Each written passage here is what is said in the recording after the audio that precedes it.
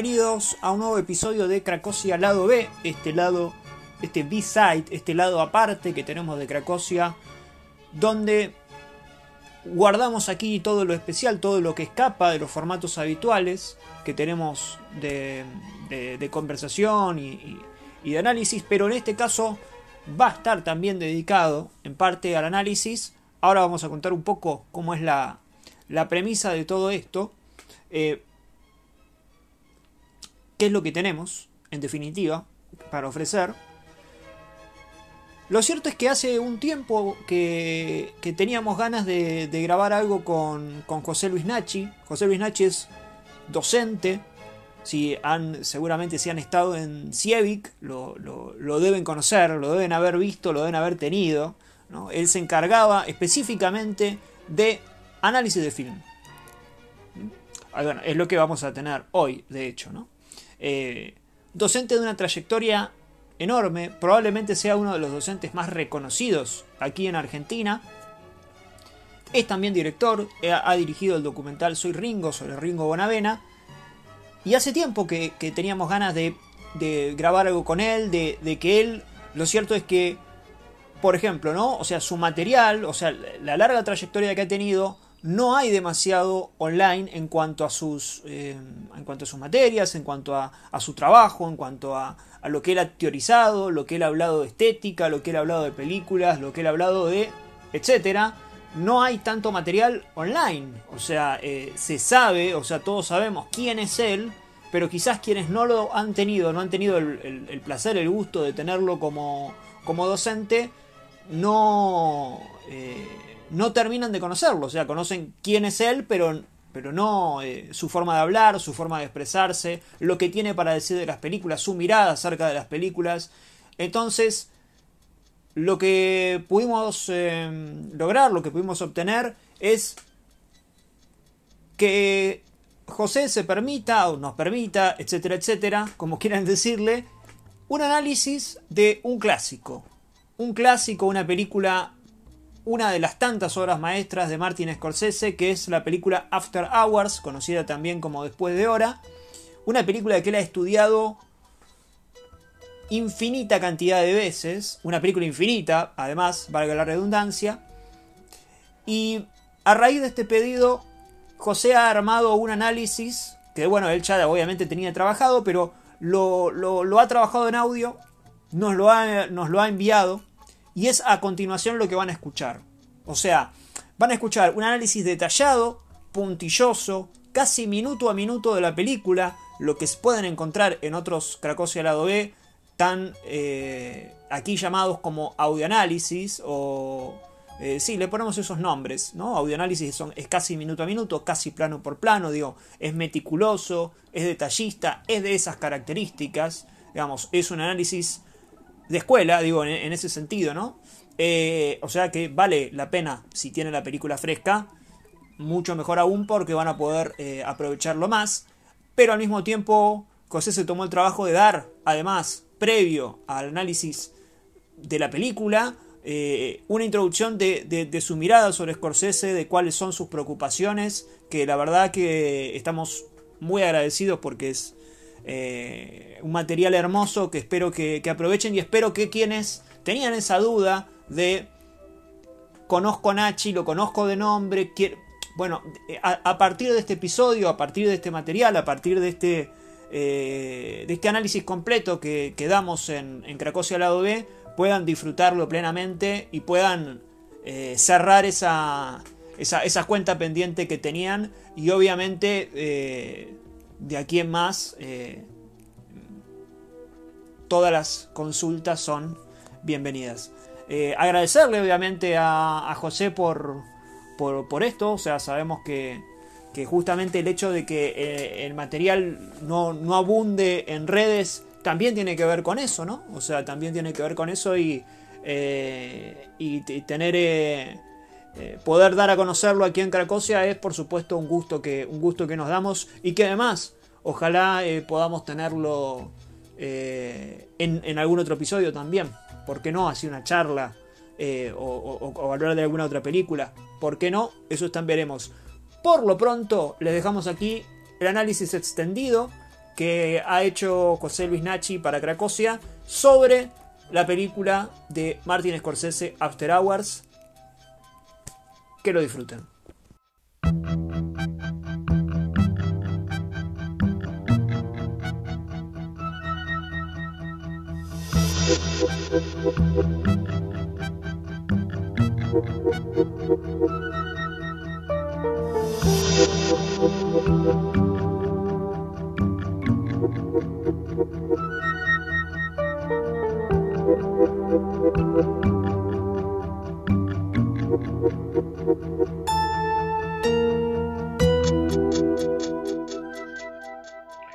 Hola amigos de Cracovia, estoy muy agradecido por la invitación que me han hecho para hablar de una película que he visto muchas veces y porque he enseñado sobre ella durante años en la escuela de cine. Cada vez que la veo, siento que la veo por primera vez.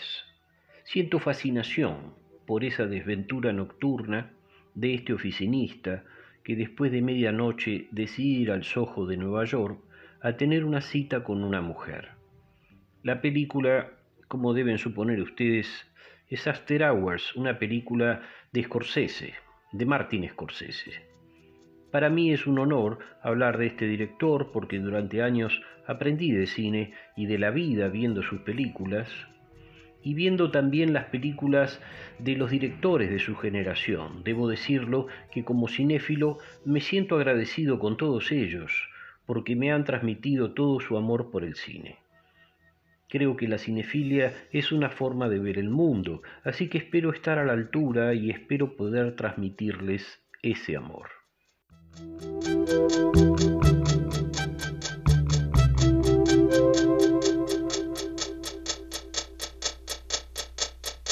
La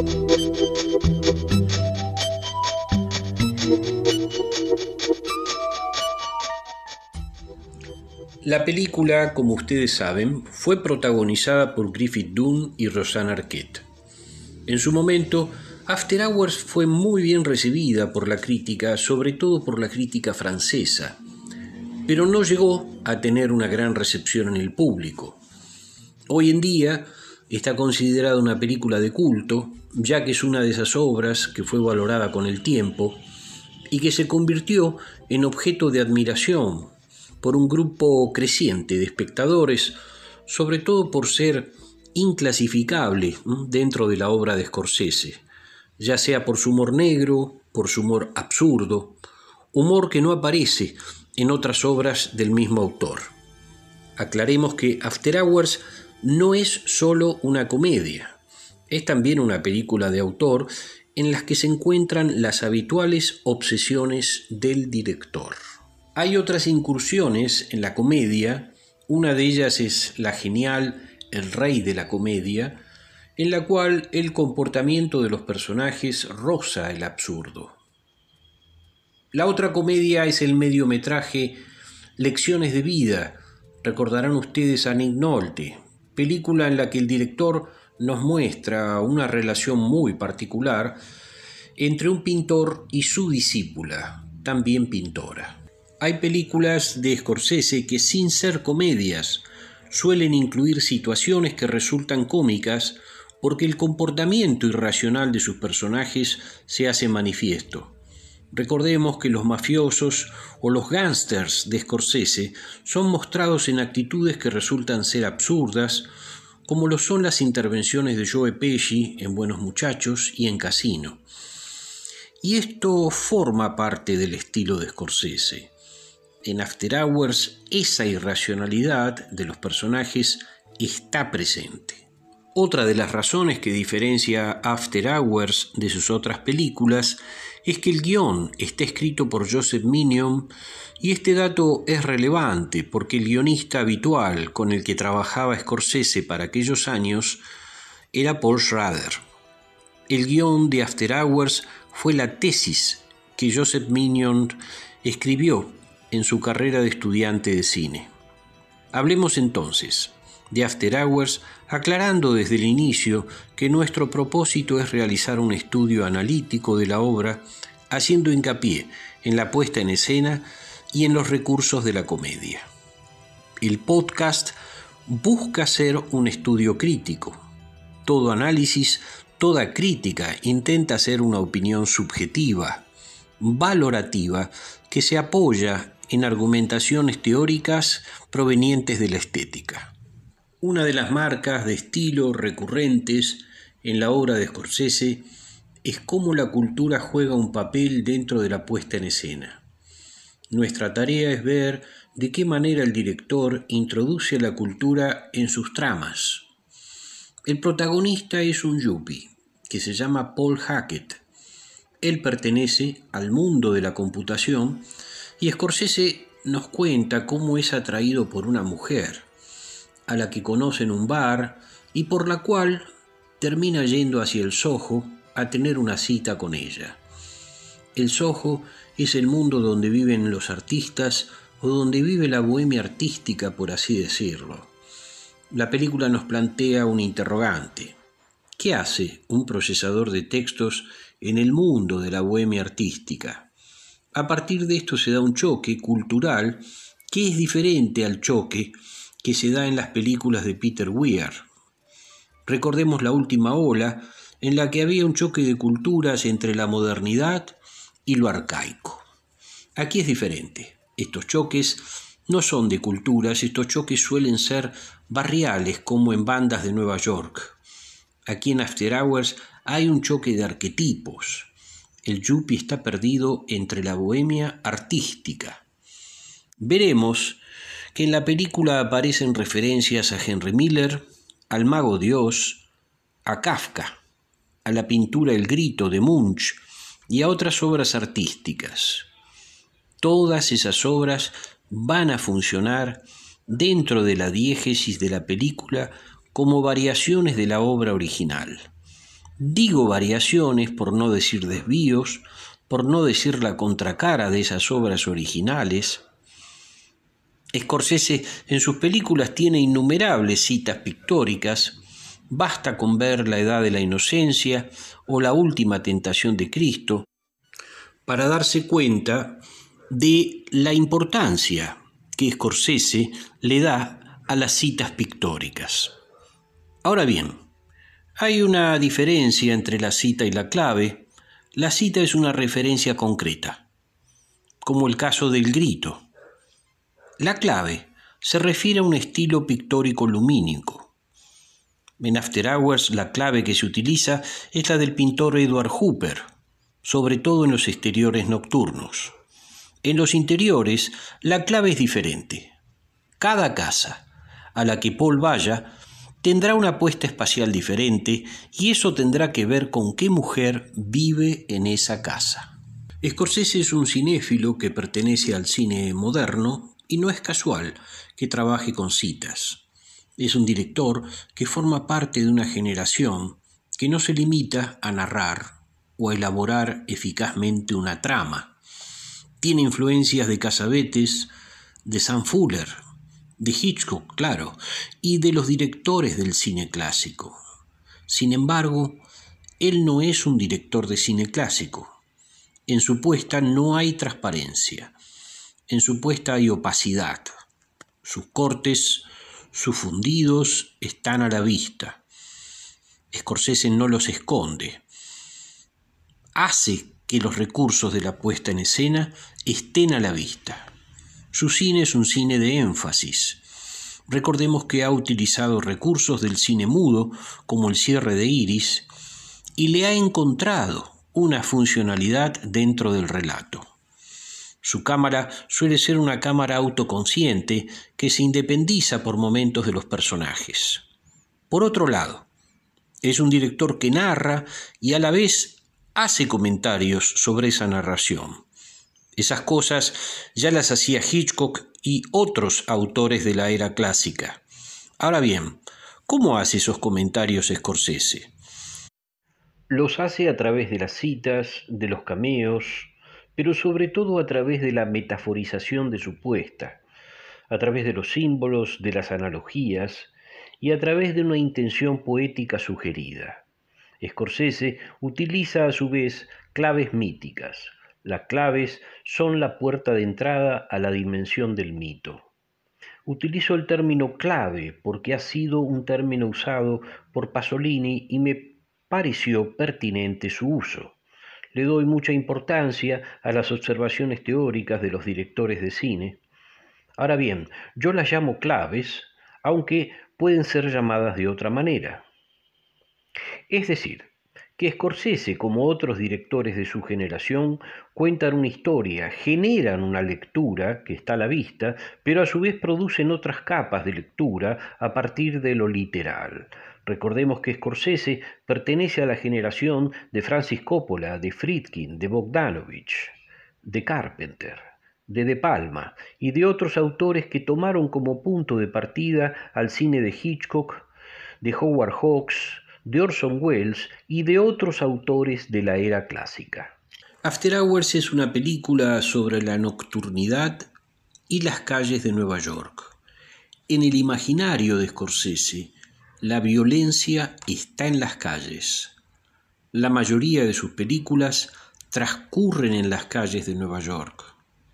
Y la nocturnidad tiene que ver con aquello que se hace después de hora como si existiera cierta condición anómala en aquellas cosas que se hacen de noche, digamos cierta irracionalidad. Pensemos que esa nocturnidad no es sólo literal, sino también metafórica. ¿Por qué decimos esto? Porque el deseo de Paul de conocer a una mujer va a ser censurado, va a ser reprimido, y frente a esa represión va a aparecer la culpa el miedo y la paranoia. El viaje de After Hours va a ser el viaje hacia los miedos de Paul. El viaje de After Hours, como las pesadillas, es un viaje a la nocturnidad de Paul. El relato empieza y termina como un viaje, pero en el recorrido aparece un laberinto en el que Paul, en el que nuestro personaje se pierde. Dentro de ese laberinto se suceden peripecias que hacen que el personaje pierda el deseo inicial que lo impulsa, motivo por el cual está condenado a vagar, como si fuera un extranjero que divaga por las calles de Nueva York.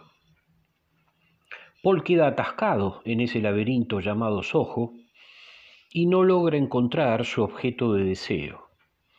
Finalmente sale de ese laberinto, pero no por cuenta propia es el azar o las contingencias la que hacen que Paul regrese a su trabajo, que es el único lugar donde se siente seguro, quizás porque no parece tener una relación con nadie, salvo con su computadora. Este viaje también nos recuerda a muchas fábulas infantiles, no en vano se cita al mago Dios, que como muchas fábulas en las cuales las niñas se iban de su casa y se internaban en el bosque. Luego de pasar por ciertas pruebas y desventuras, retornaban a su hogar, habiendo sufrido una transformación. Esa transformación solía ser el pasaje de la infancia a la adolescencia. Ahora bien, ¿por qué mencionamos el bosque? Porque el sojo sería como un bosque en el que el personaje se pierde. La simbología de este viaje no termina aquí. El héroe escorsesiano, en otro orden simbólico, puede hacer un viaje hacia su propio infierno. Algunos personajes que viajan a su propio infierno pueden volver de ese viaje y otros quedan atascados.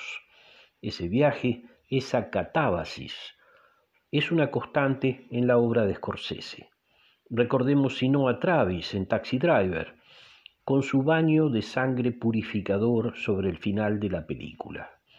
Ya veremos cómo Paul, involuntariamente y llevado por las circunstancias, hace su propia y particular catábasis. Una característica de la obra de Scorsese es que suele violentar la puesta en escena. La violencia en las películas de Scorsese está siempre presente. Pero esa violencia no está porque sí. No hay un regodeo con la violencia. Siempre hay una justificación dramática, siempre hay un conflicto detrás de esa violencia. Aquí en After Hours la historia es contada con humor y ese humor permite que el director sea más benevolente con su personaje.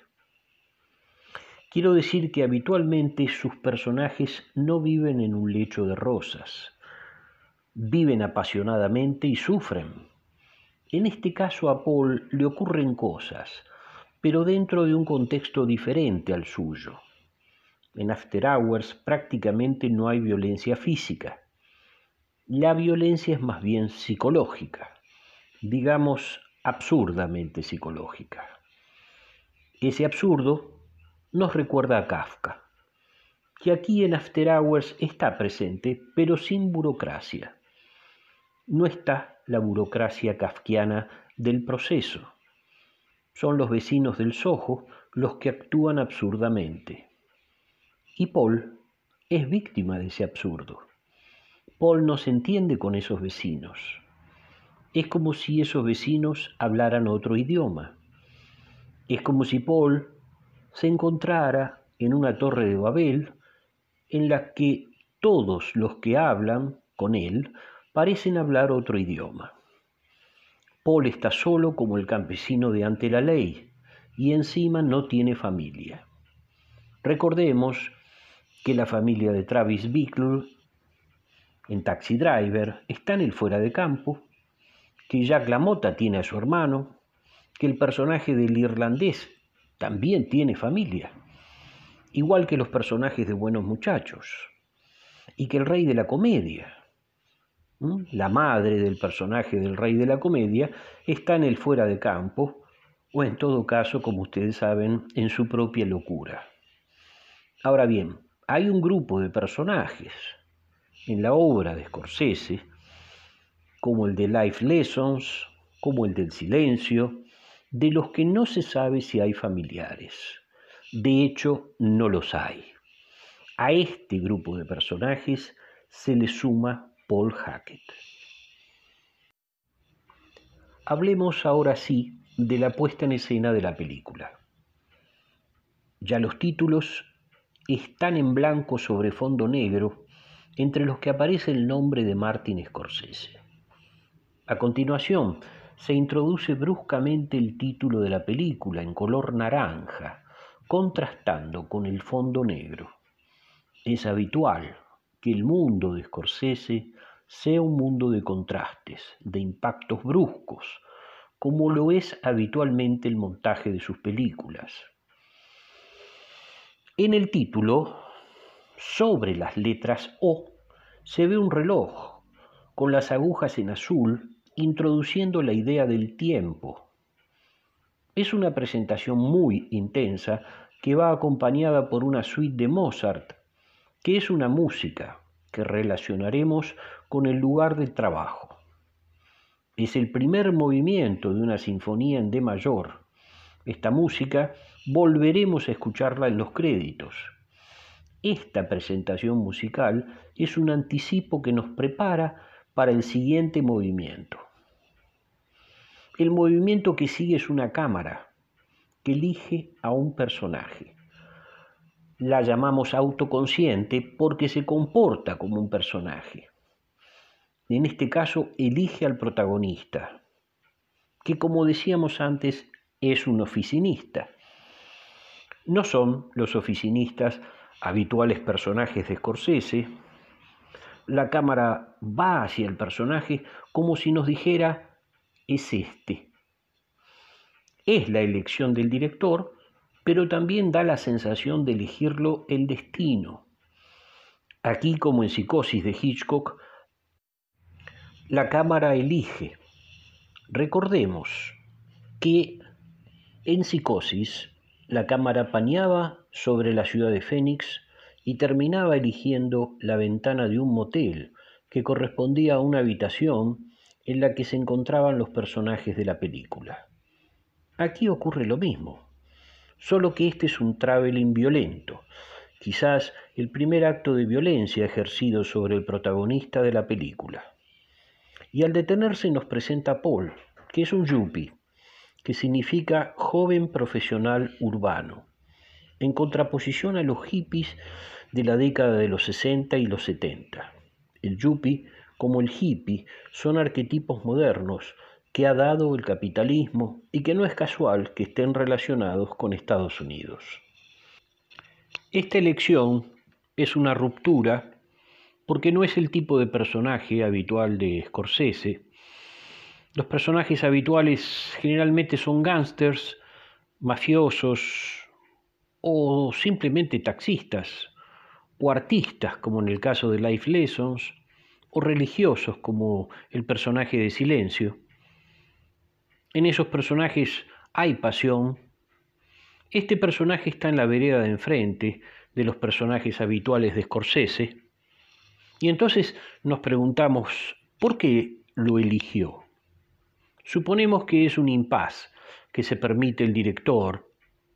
Suponemos que tiene ganas de reírse de sus personajes y que imaginamos que es un personaje al que Scorsese quizás no le tiene simpatía.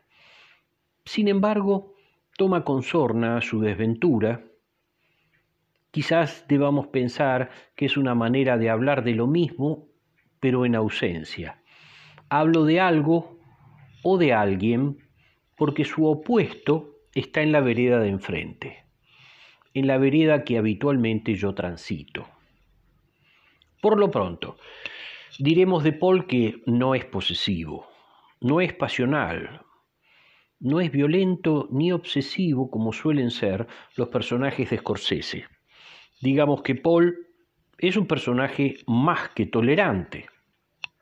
Es delgado, tiene cierta introversión, la apuesta del personaje recuerda en su físico a Anthony Perkins, quizás al Anthony Perkins del proceso de Orson Welles, no al de psicosis.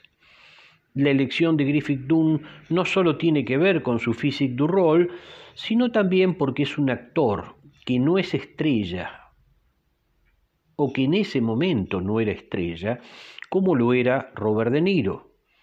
Scorsese necesitaba a alguien que no fuera estrella, necesitaba a alguien que no fuera tan conocido. Recordemos que Griffith Dunn era un actor de comedia que había actuado en El hombre lobo americano, y eso le resultaba útil al director. Paul es un instructor y está enseñando a los que aprenden a ser procesadores de textos. Es un personaje que por lo que vemos en la primera escena no es un apasionado de su oficio. No se va a iniciar a través de su oficio no se va a sentir realizado con su oficio, todo lo contrario. En un momento se nos revela que Paul no parece ser feliz, se aburre, cosa que difícilmente sentirían otros personajes de Scorsese. En todo caso, lo que veríamos de sus otros personajes sería su obsesión. No nos imaginamos a la mota aburrido, Ahora bien, en el momento en que está instruyendo a su discípulo, Paul se distrae. Scorsese aprovecha el cruce de un personaje que lleva carpetas, que hace que Paul se distraiga y experimente una vivencia de algo que ya experimentó en otros momentos. Ve carpetas, planillas y máquinas de escribir como si eso fuera lo único en su vida. En ese momento, la imagen es acompañada por una suite de Johann Sebastian Bach, con toda la connotación sacra que tiene esta suite, que con su tempo acompasado connota el calvario que vive el personaje. Mientras Paul hace un relevamiento de su oficina a través de una subjetiva que utiliza el director el alumno le comenta su plan. Le comenta que lo que está aprendiendo no es de su interés, que su proyecto es abrir una revista. Y esto es importante, porque el alumno tiene un plan, pero Paul no. Paul no escucha el plan de su alumno, no le interesa. En su vida no parece haber proyectos ni compromisos, y esa distracción de Paul y de otros personajes va a ser un motivo recurrente en toda la película. Después de vivenciar, por así decirlo, ese sentimiento triste, decide suspender la clase y deja a su alumno. Y en el plano siguiente, por corte, vemos a Paul saliendo del edificio. Ahí nos damos cuenta que es el último que sale de su oficina. Paul va a un bar que se encuentra en su barrio. Lo llamativo es que no va al bar buscando un contacto social. Va a leer un libro. El bar es un bar con paredes de colores cálidos y eso hace que sea un lugar diferente. Hace que no parezca una continuidad de su casa y de su oficina. La toma empieza con un plano detalle del libro Trópico de Cáncer y un traveling de retroceso en el que vemos a nuestro personaje sentado a una mesa leyendo. El traveling sigue hasta que incorpora a una mujer rubia de espaldas que está cerca de la mesa de Paul, a la que nuestro personaje no parece haber descubierto aún. Por detrás de Paul hay una pareja de personas mayores, esos viejitos son los padres de Scorsese en la vida real. Y más atrás está el que se encarga de la caja. Ahora bien, ¿cómo se llama este procedimiento por el cual sus padres aparecen en la película como extras?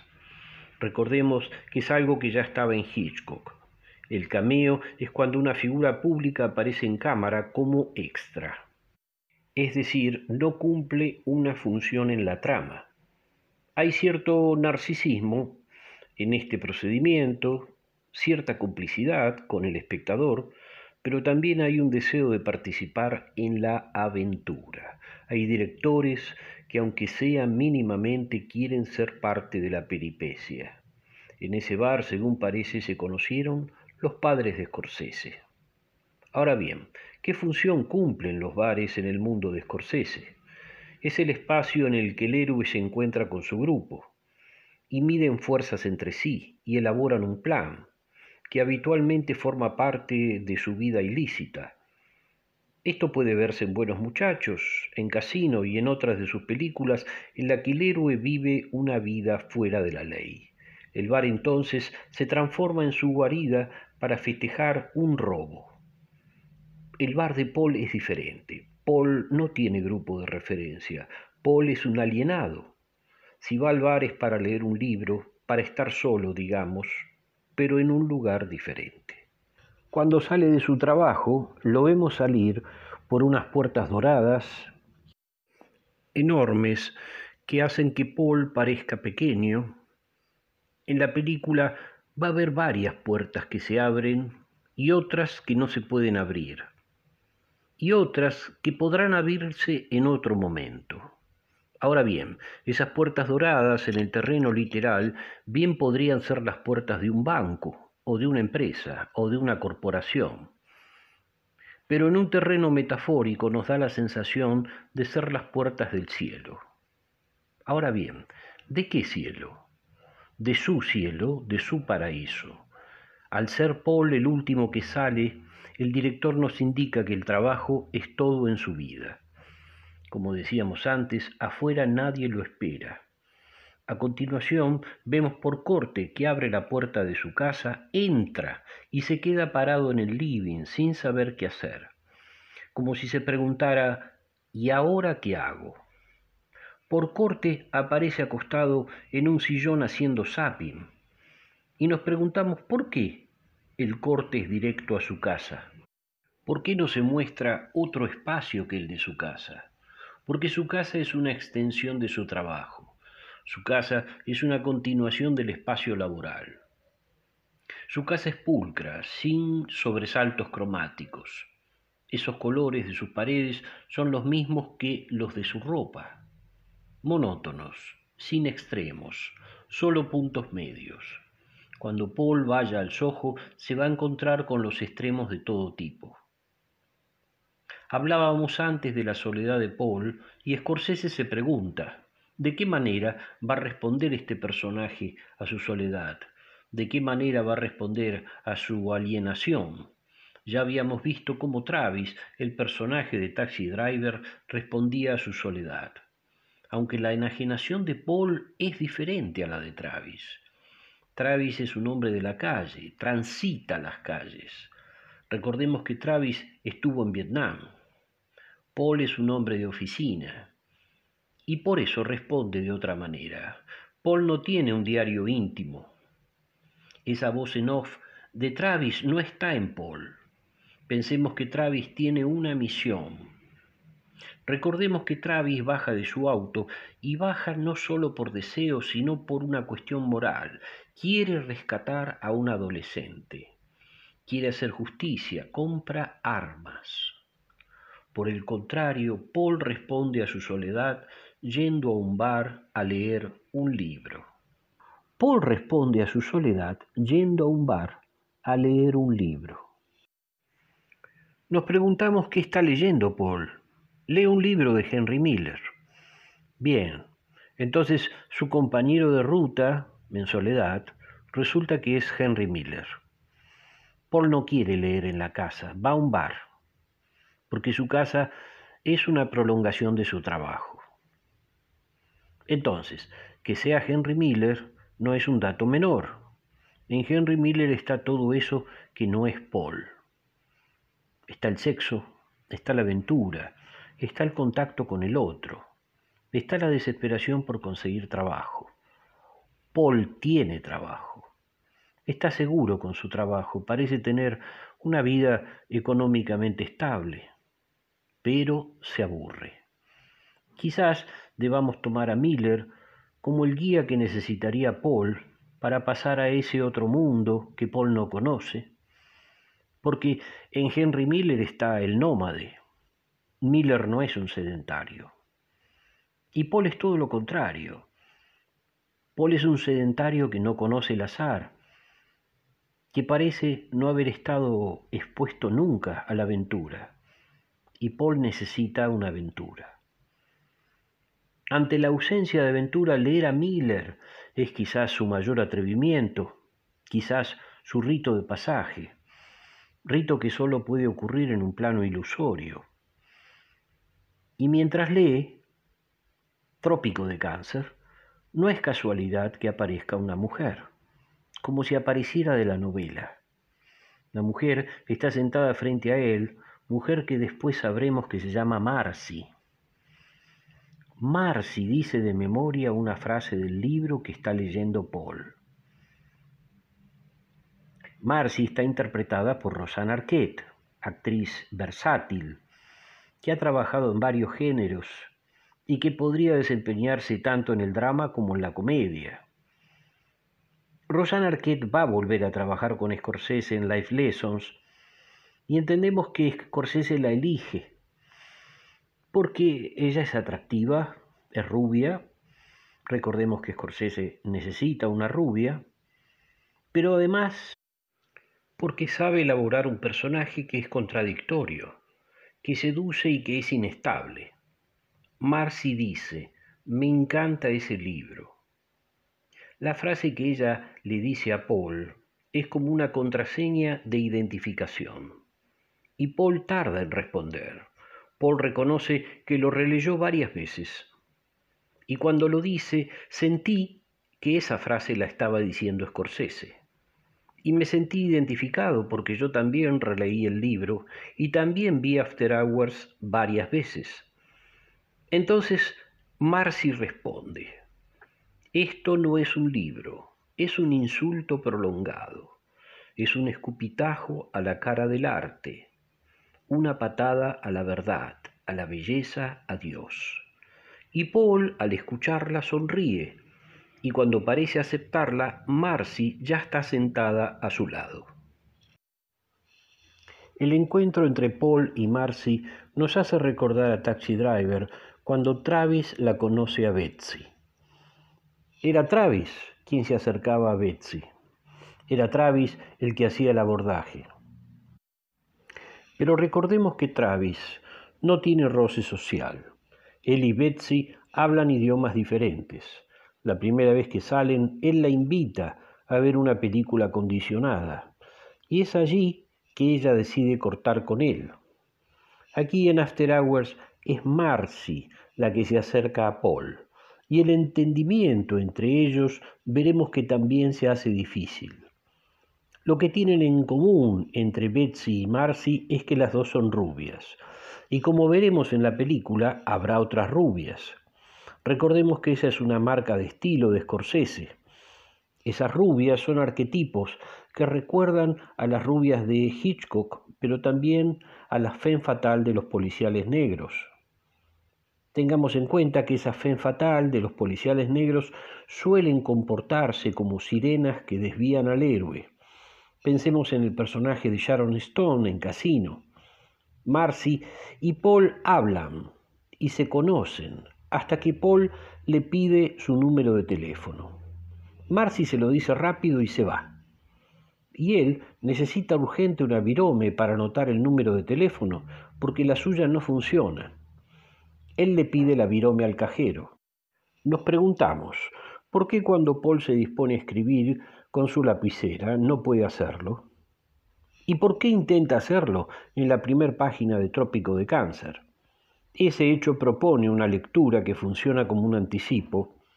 Paul no puede reescribir la aventura de Miller. No tiene tinta. Es una metáfora clara de que Paul no estará a la altura de esa aventura. El mundo de Miller resulta impredecible para Paul. Paul está acostumbrado, según parece, a aquellas cosas del mundo de la computación que puedan predecirse, al menos para lo que era la computación en la década de los 80. Por otro lado, Marcy nos hace pensar en un personaje de Miller que se llama Mara, y sobre el final habrá otro personaje, otra rubia, que se llama June. Las dos aparecen en las obras de Miller. Las rubias de After Hour van a formar parte de ese mundo de sirenas que desvían al héroe, y cada una funcionará como una variación de la otra. Así como en la ventana indiscreta, al personaje se le presentaban variaciones de su soltería en cada una de las ventanas, aquí se presentan variaciones de una misma rubia a desear. Como decíamos, una de esas rubias será Marcy, con un comportamiento casi bipolar. La otra es Julie, que vive en un contexto quiche y que también tiene un comportamiento cambiante. La otra es Gail, que tiene un carácter autoritario, cuyo nombre remite al de Dorothy Gale en El Mago de Oz. Y la última es June, la artista plástica, la más maternal de todas, la que va a terminar de modelar a Paul, modelar en un sentido literal y metafórico. Ahora bien, cuando el cajero le da la virome, aprovecha para dar un giro sobre sí mismo como si fuera una figura de baile clásico. Para Paul, eso es una rareza, ajena a su mundo. Es quizás la primer rareza de la película. Entonces, lo que vamos a ver en ese periplo es la imposibilidad que tiene un oficinista como Paul para decodificar ese mundo de la bohemia. Estos artistas de ocasión son arquetipos diferentes al yuppie. A Scorsese le interesó este choque entre arquetipos tan diferentes. Ese giro muestra el primer signo de ese otro mundo y por lo tanto ese giro no deja de ser un giro en la historia. La historia se pone en marcha. La historia toma un rumbo. La excusa para pedirle el teléfono a Marcy es un pisapapeles hecho de queso crema y yeso.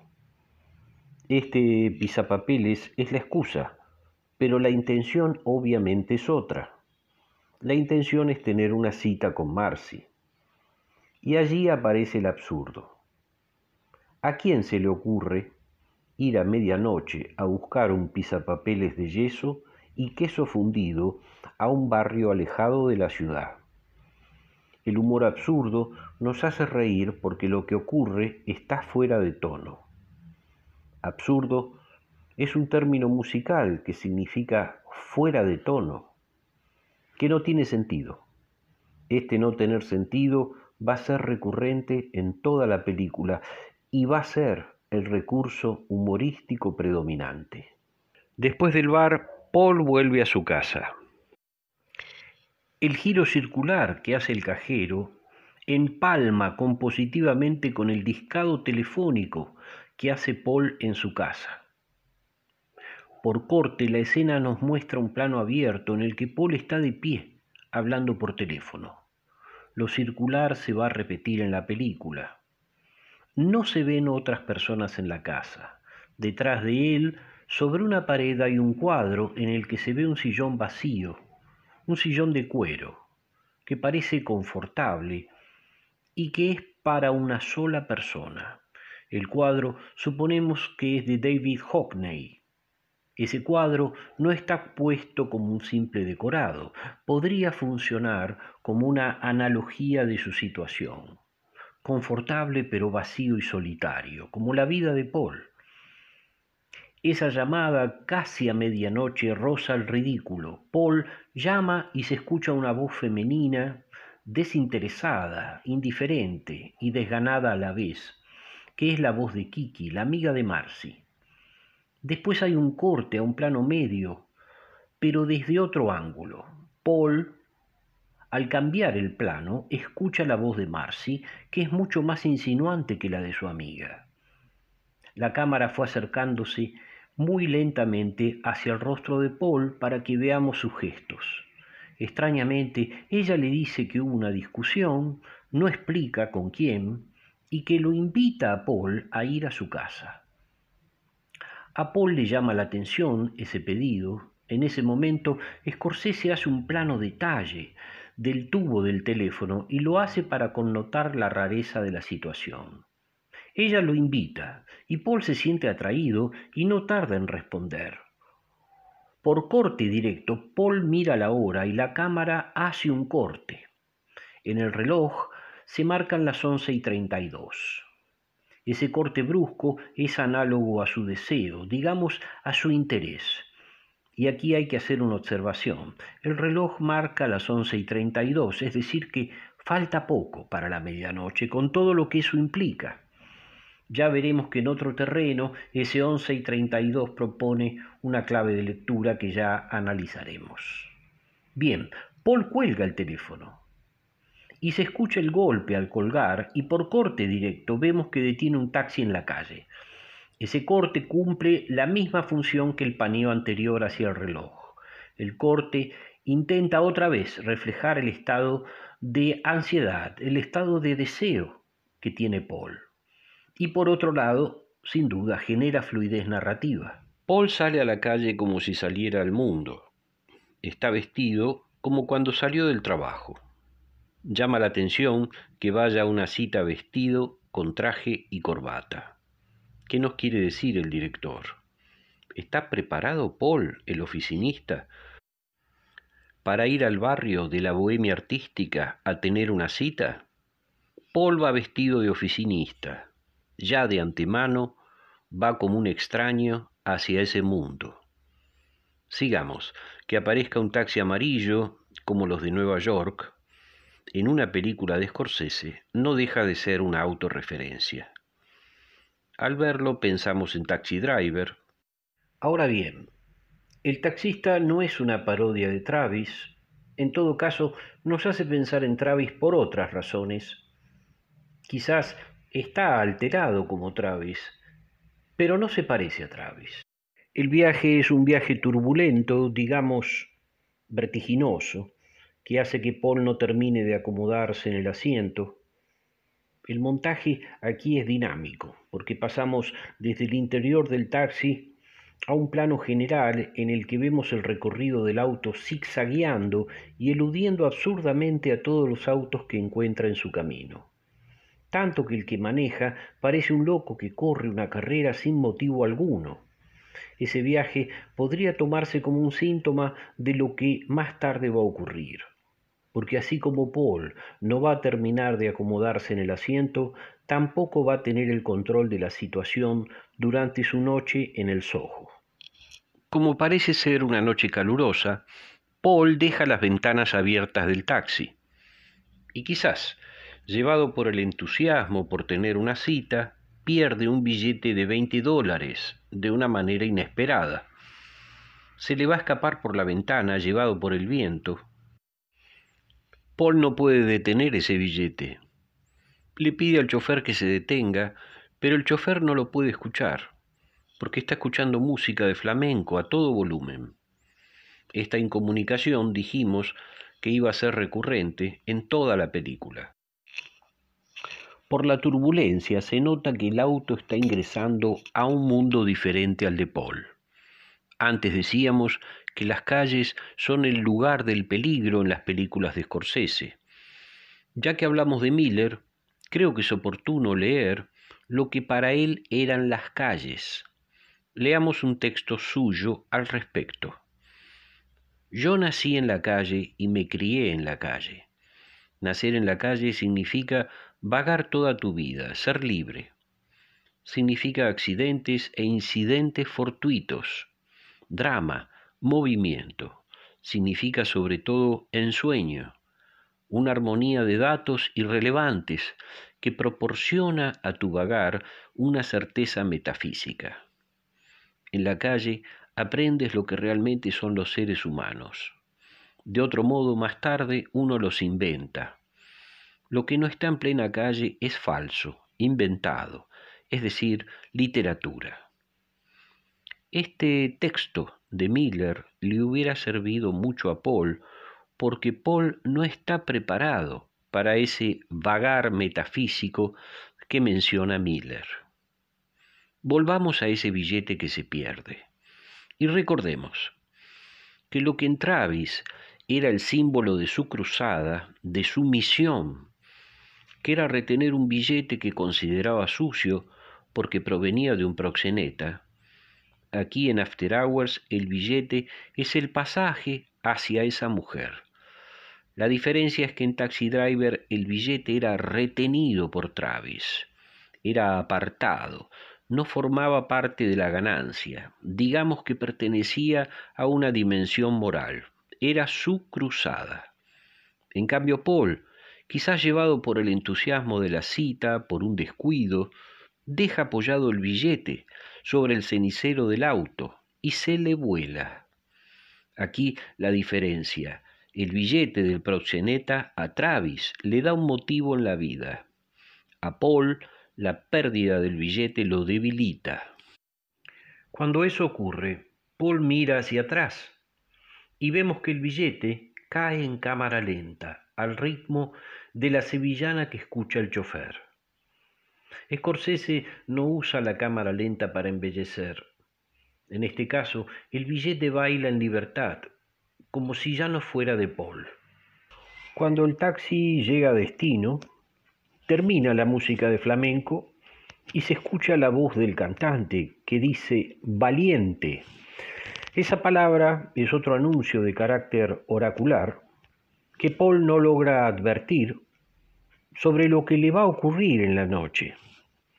Cuando Paul le dice al taxista que se voló el dinero, vemos al mismo girar su rostro enardecido hacia Paul. El taxista, resignado, lo deja pasar y se retira. Y aquí confirmamos que lo que podía encaminarse hacia una comedia romántica, a partir de este cruce se ha desviado hacia una comedia de características diferentes. Por otro lado, en el terreno simbólico, tengamos en cuenta que Paul no ha pagado su viaje.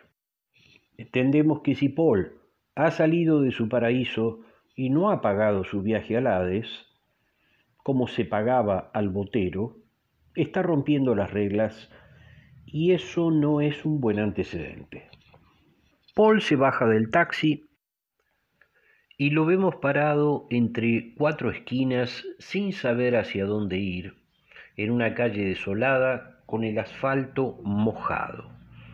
El plano es uno de los más bellos de la película Después lo vemos ir hacia la casa en un plano abierto y aquí comienza a cobrar importancia el espacio, cobra importancia la calle.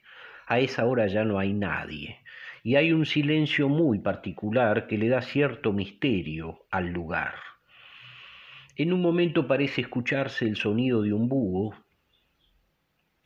Paul sigue caminando, va sobre la vereda hacia una dirección que él está buscando. Es un plano que se va a repetir durante toda la película. Paul caminando solo de noche en la ciudad, llevando su soledad a cuestas en un barrio que no es el suyo. La casa de Marcy es un espacio diferente, como lo van a ser todos los otros espacios. Paul entra a la casa y para hacerlo tiene que tocar el timbre. Y allí aparece otro hecho complicado para la mirada de Paul, que es que los nombres que aparecen lo desconciertan. Otra vez el plano detalle.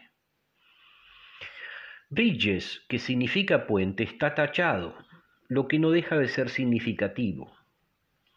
Toca el timbre que dice Franklin, y desde arriba una mujer, que no es Marcy, le tira la llave. La llave cae, pero es una llave amenazante, que va hacia Paul. Es la llave para entrar al otro mundo, que cae sobre el personaje como si fuera muy pesada, como si, como si viniera desde el cielo. Es una subjetiva de Paul en cámara lenta. Paul tiene que correrse y cuando la llave cae al suelo se escucha un trueno, como si fuera otro anuncio. La tormenta es metafóricamente otro anuncio. Paul sube por una larga escalera y entra a un loft.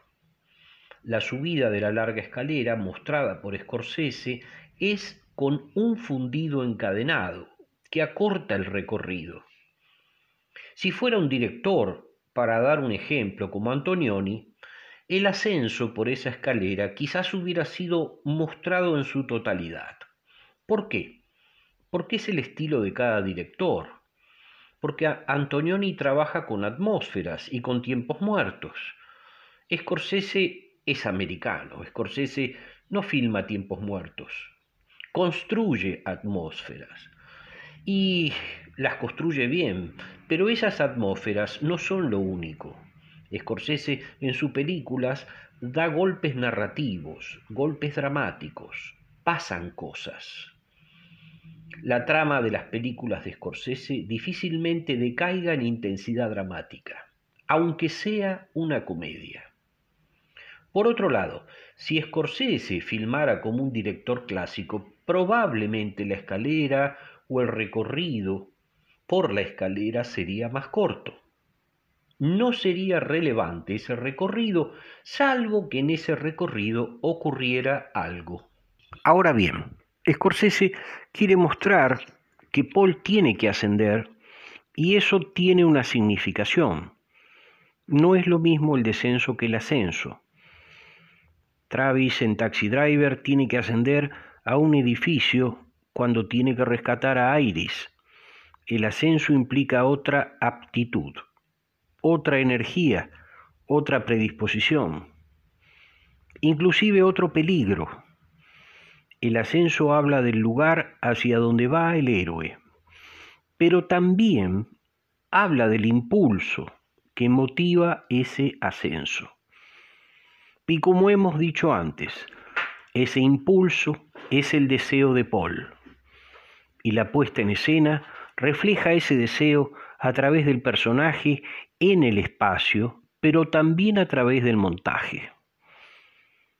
Paul entra y se encuentra con un loft. Es un plano abierto. Ese loft sorprende a Paul por su tamaño. Paul viene de una oficina, viene de su departamento de soltero, y ese loft es demasiado grande para Paul. Le queda grande. A Paul no se lo ve abrir la puerta. Por corte discontinuo pasa de la escalera al interior de la casa. Paul ya está caminando dentro de la casa y ve a una mujer joven y atractiva con un look de cuero muy particular, muy informal, digamos, dark, por usar un término actual, que trabaja sobre una estatua y que no le presta atención a Paul, como si fuera un bicho de otro pozo.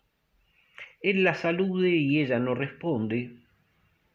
Paul tira el llavero sobre la mesa y Scorsese hace un plano detalle.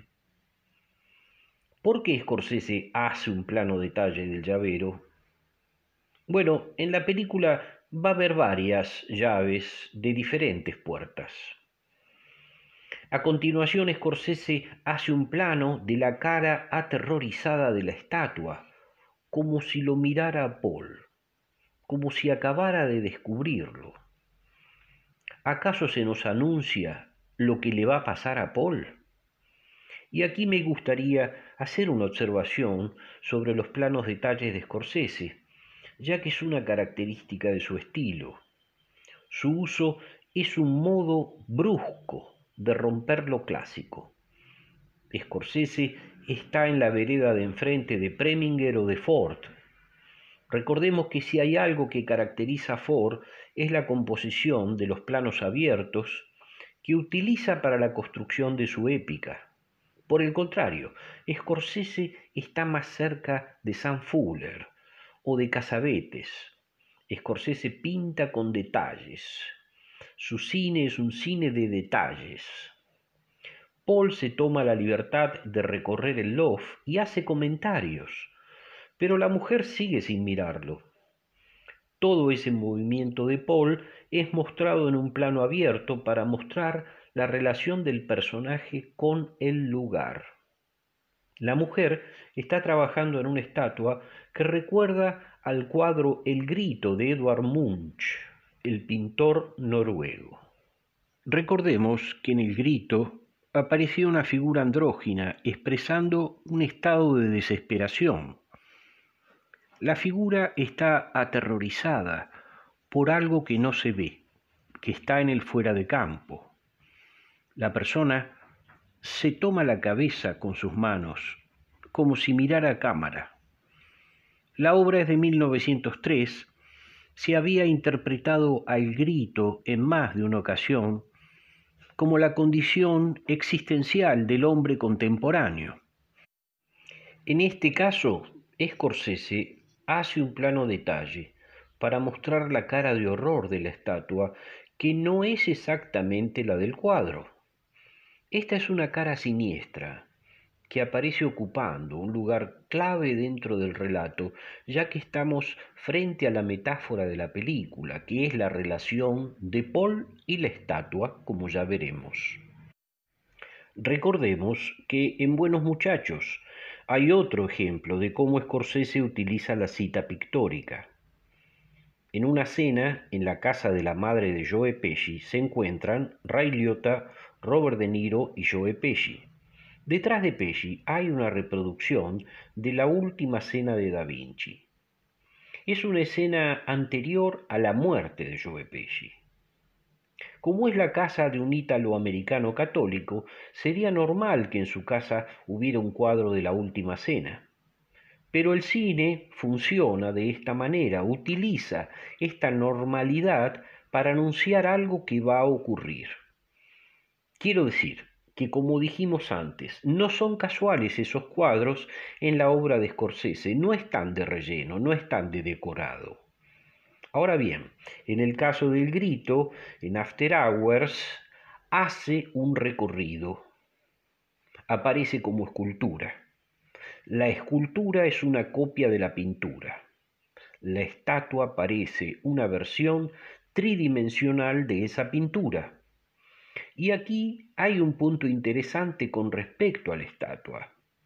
La estatua va siendo modelada primero con las manos de Kiki y después Paul ayuda a esa modelación con sus propias manos. Ya veremos en qué termina esa modelación sobre el final de la película. Bien, ¿qué ocurre cuando Paul ve la estatua? Queriendo mostrarse conocedor del tema, para quedar bien, para alardear, él dice el alarido en vez de decir el grito. La mujer inmediatamente lo corrige. Esa corrección establece una distancia entre él y ella. El espectador está esperando que haya una conexión entre ellos, pero por esa corrección que ella le hace a él, es como si le dijera, vos no sabés de arte. Linda Fiorentino interpreta a Kiki, a quien vemos trabajar con papel de diario mojado en engrudo. Recordemos que el arte contemporáneo trabaja con otros materiales. A primera vista, el papel de diario, en lugar de la arcilla, parece funcionar como una degradación, como si la obra de arte fuera algo efímero, algo transitorio, algo que termina degradado y en muchos casos resulta de autor anónimo. Ante la invitación de ella a que Paul la ayude con la estatua, él objeta que es su obra, que si la obra es de ella, ¿por qué él va a trabajar sobre esa obra? Ella no le da importancia a esa objeción y él finalmente decide ayudarla. Paul trabaja y se mancha su camisa blanca y Kiki le pide que se la saque. Así la lava. El trabajo con las manos húmedas y el engrudo con el que trabaja Kiki tiene cierta connotación erótica. Ante el pedido de Kiki que se saque la camisa, Paul se siente intimidado y se niega a hacerlo. Paul está agachado y vemos en su subjetiva a Kiki, que fuma y le pide que le insiste que se saque la camisa de una manera muy sugestiva.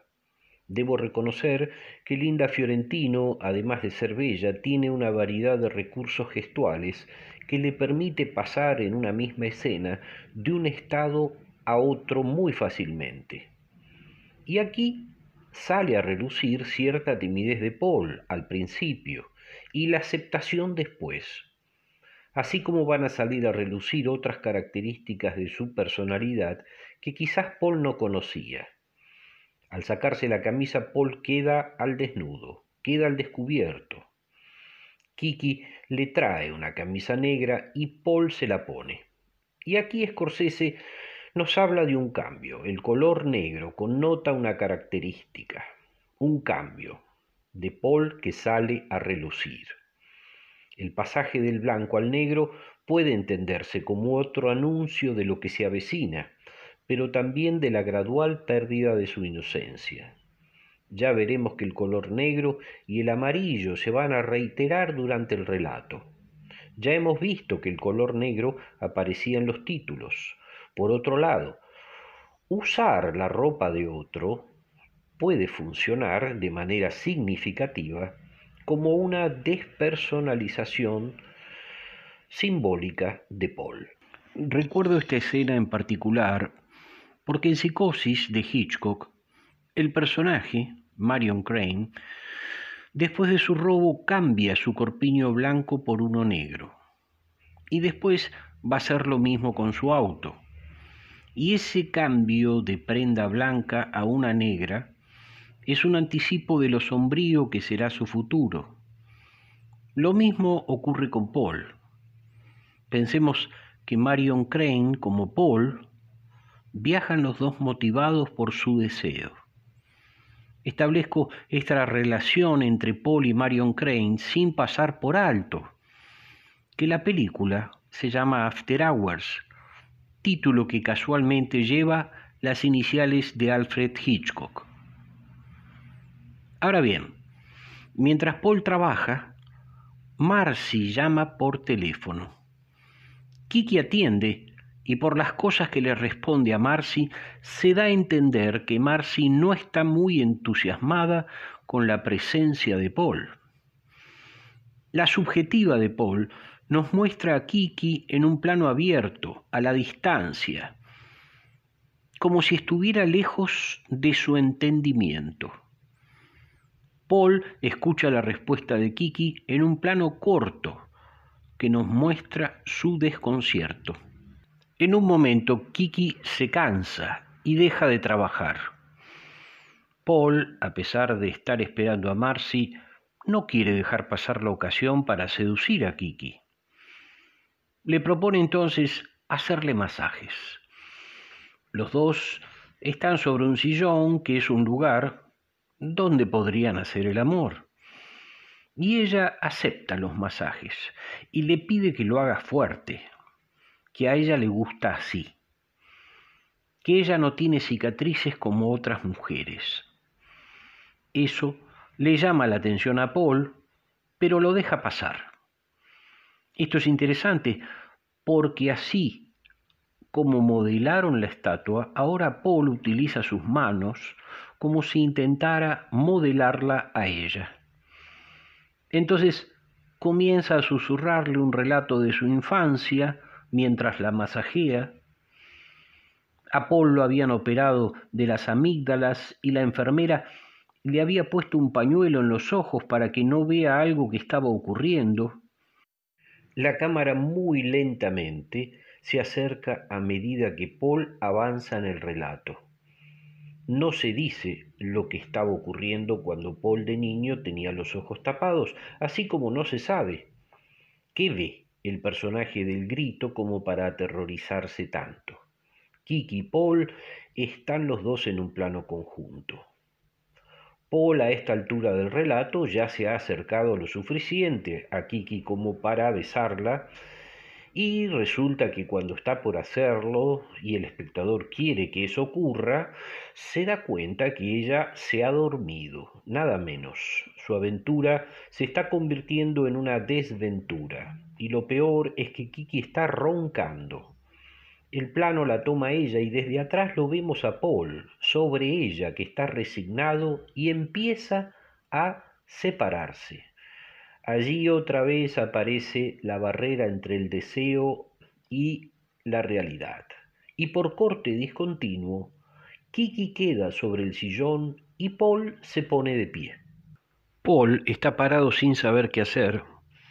Se lo ve frente a un sillón en el que duerme Kiki y eso nos hace pensar en una obra de arte moderno, ya que la iluminación del lugar parece la de una galería de arte, en la que sólo hay iluminados determinados sectores.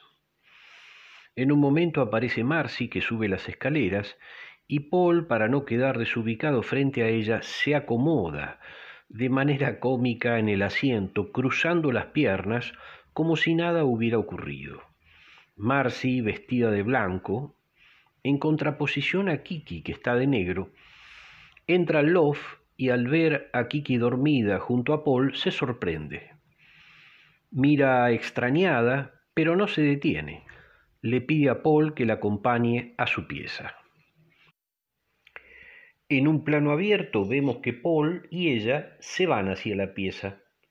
Y por corte, en un plano conjunto, se los ve a los dos sentados sobre la cama de Marcy y charlan. Es un plano que se va a repetir en la casa de las otras mujeres, como si fuera una variación de una misma conversación, que se prolonga. Ella le pregunta, ¿qué le hizo a Kiki? Esta es la primera acusación que le hacen a Paul, es el primer equívoco. A partir de ese momento se dan una sucesión de encuentros y desencuentros entre Paul y Marcy. Esto nos recuerda a los dramas de Alcoba, pero enmarcados aquí dentro de un contexto del absurdo. Paul se da cuenta que Marcy tiene un carácter muy cambiante, por momentos lo seduce y por momentos lo rechaza. Esto hace que nuestro personaje esté confuso y se desmotive antes de salir de la habitación, Marcy le guiña el ojo a Paul y eso lo estimula. Estos hechos hacen que Paul vuelva a sentir deseo. Cuando Kiki se va, pasamos de un primer plano de Paul, que se agacha para ver qué hay en el bolso de Marcy, a un plano detalle, en donde vemos una crema para quemaduras. Y a continuación, un primerísimo primer plano de Paul que intenta sacar conclusiones. Este manejo de los planos cortos que hace Scorsese es muy característico de su estilo. Hay directores, sobre todo los del cine clásico, que se manejan habitualmente entre los planos medios y los planos abiertos, pero Scorsese es el que pinta, como decíamos antes, los detalles. Bien, Kiki vuelve. Quiere cerrar la ventana y él la ayuda, pero ella se enoja. Ella se va llevándose la crema. otra vez el desconcierto de Paul.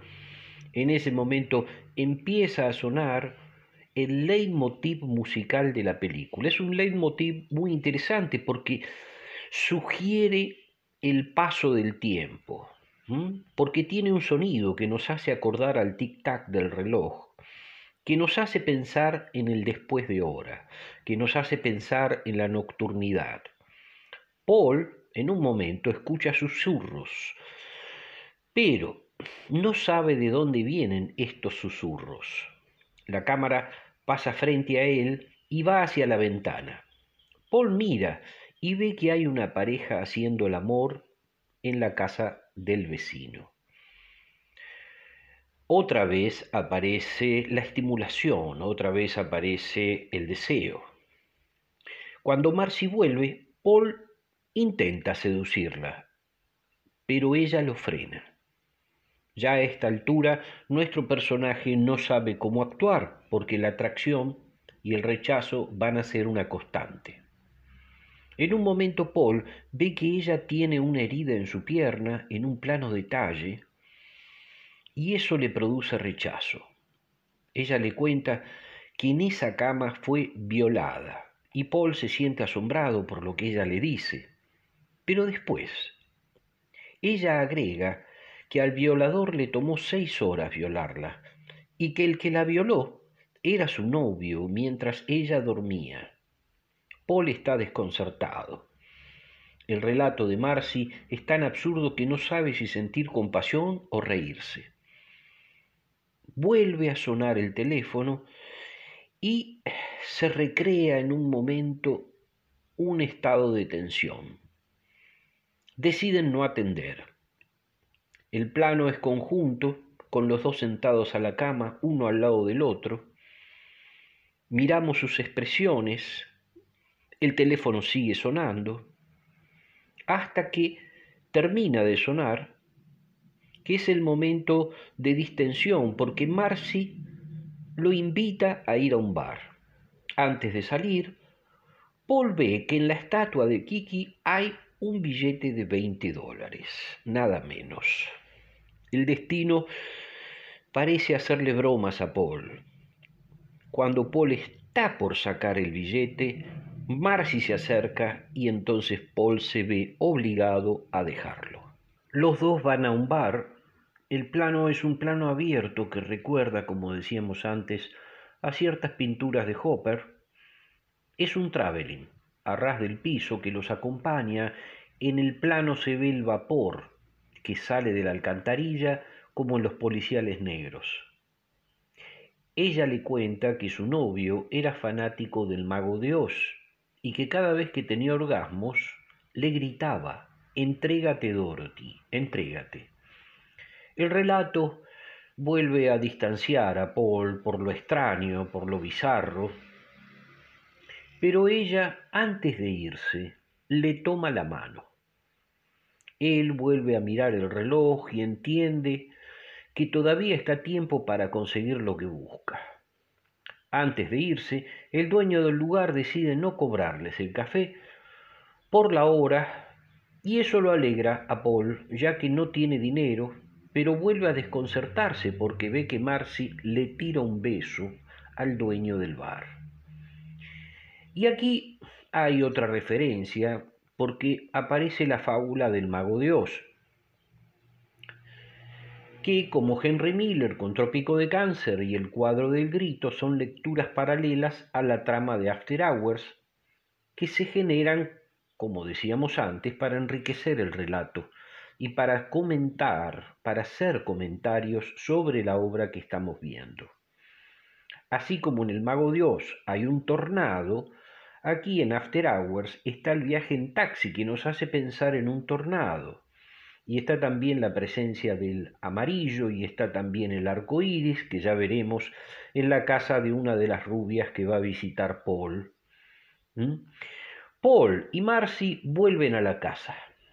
Y tras algunos desencuentros que parecían superados, cuando todo parece encaminarse hacia el lugar que pretendía Paul, originalmente, Paul vuelve a sentir un rechazo, porque ve que en el bolso de Marcy hay un libro muy desagradable sobre quemaduras.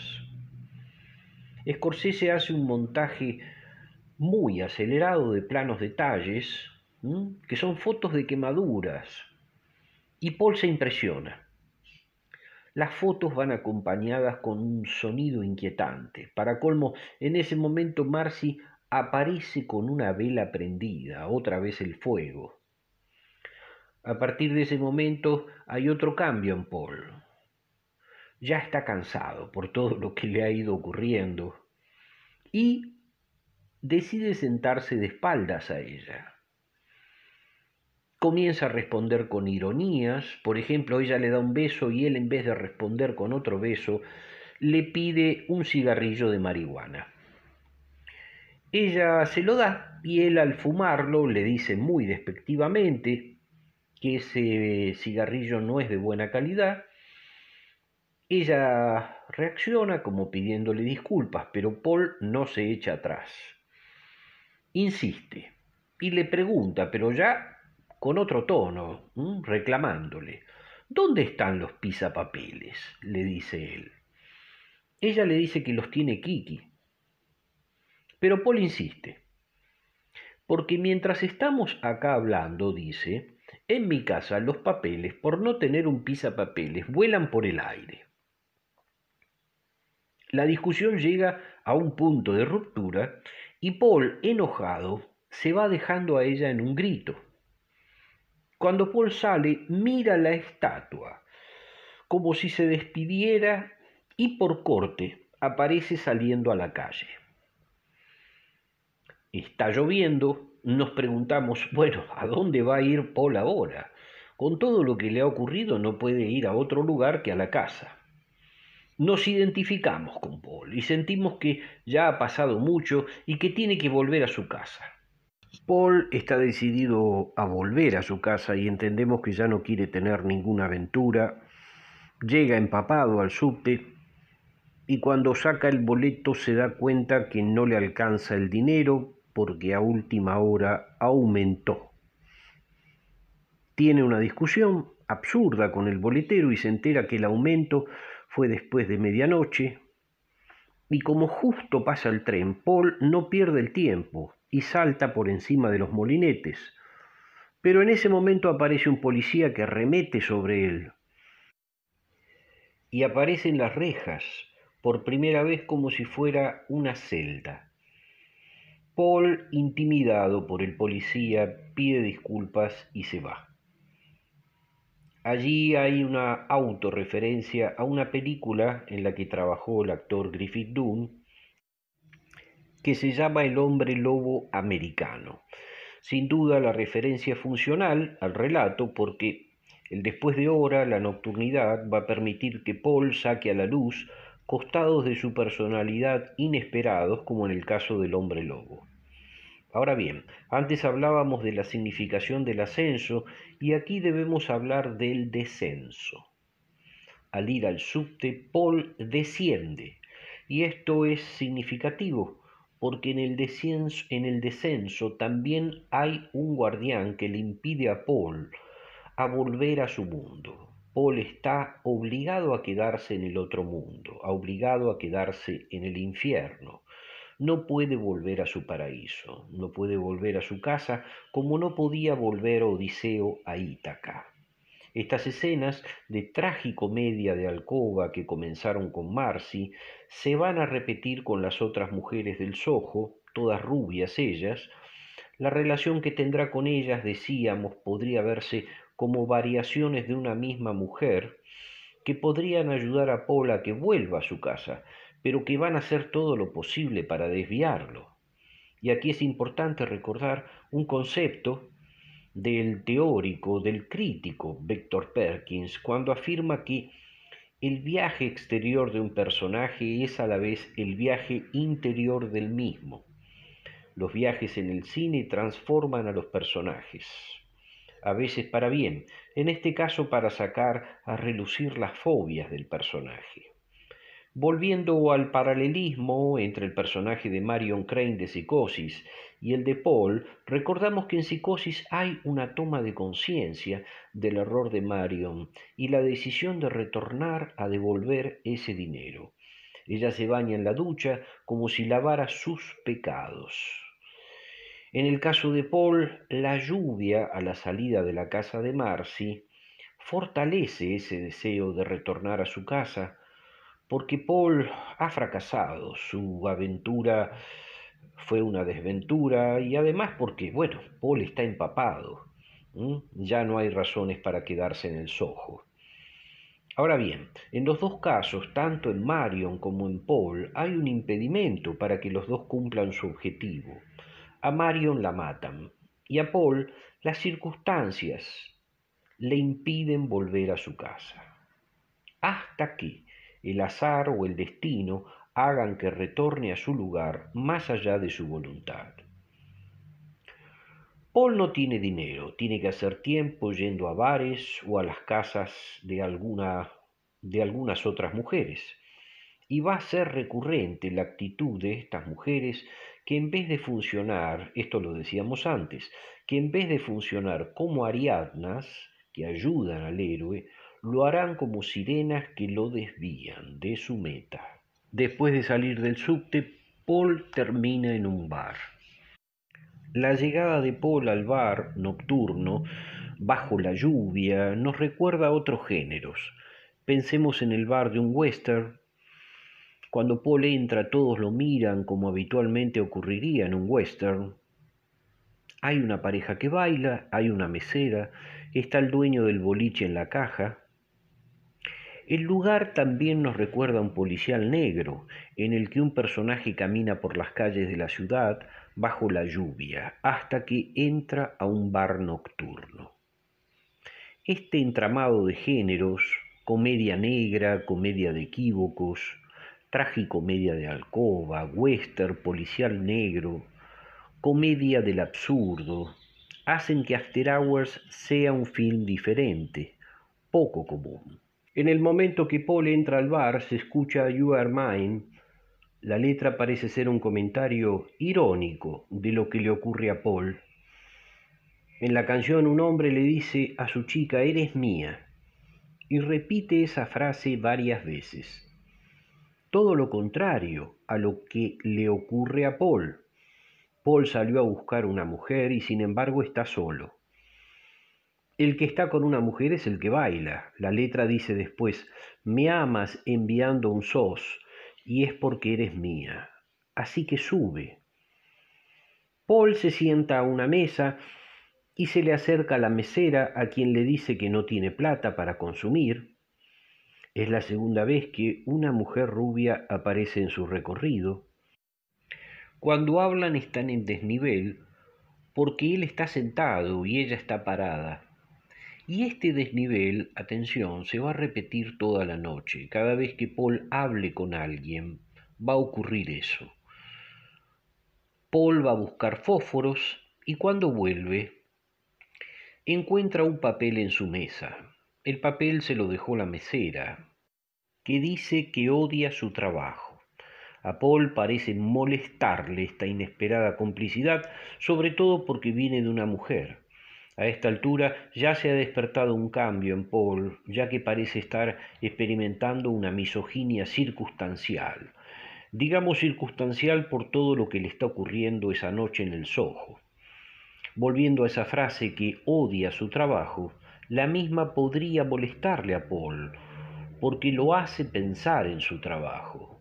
Esa mujer, como en una relación en espejo, le recuerda su propio conflicto. Y aquí confirmamos lo que decíamos antes, que el viaje de Paul también es un viaje hacia sí mismo. Paul va al baño y se mira al espejo mientras orina y mueve su cabeza por todo lo que le está pasando. Esta utilización del espejo se va a repetir.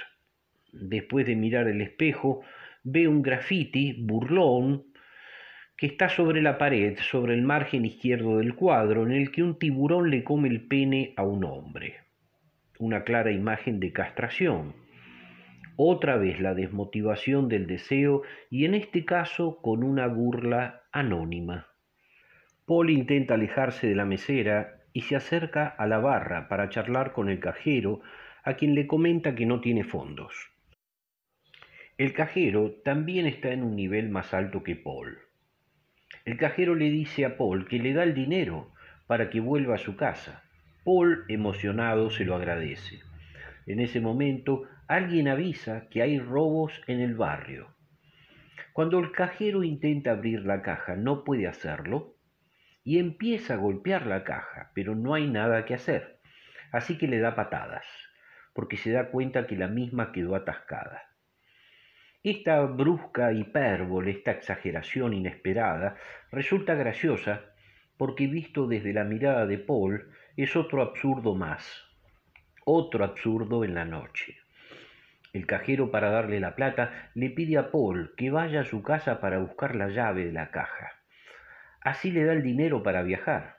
Pero cuando está por hacerlo, el dueño del bar se contiene, porque se acuerda que hay robos y que él podría ser un ladrón. Paul, para convencerlo de su inocencia, le deja como garantía la llave de su casa y le promete que va a volver. Por corte vemos a Paul subiendo por la escalera de la casa del dueño del bar.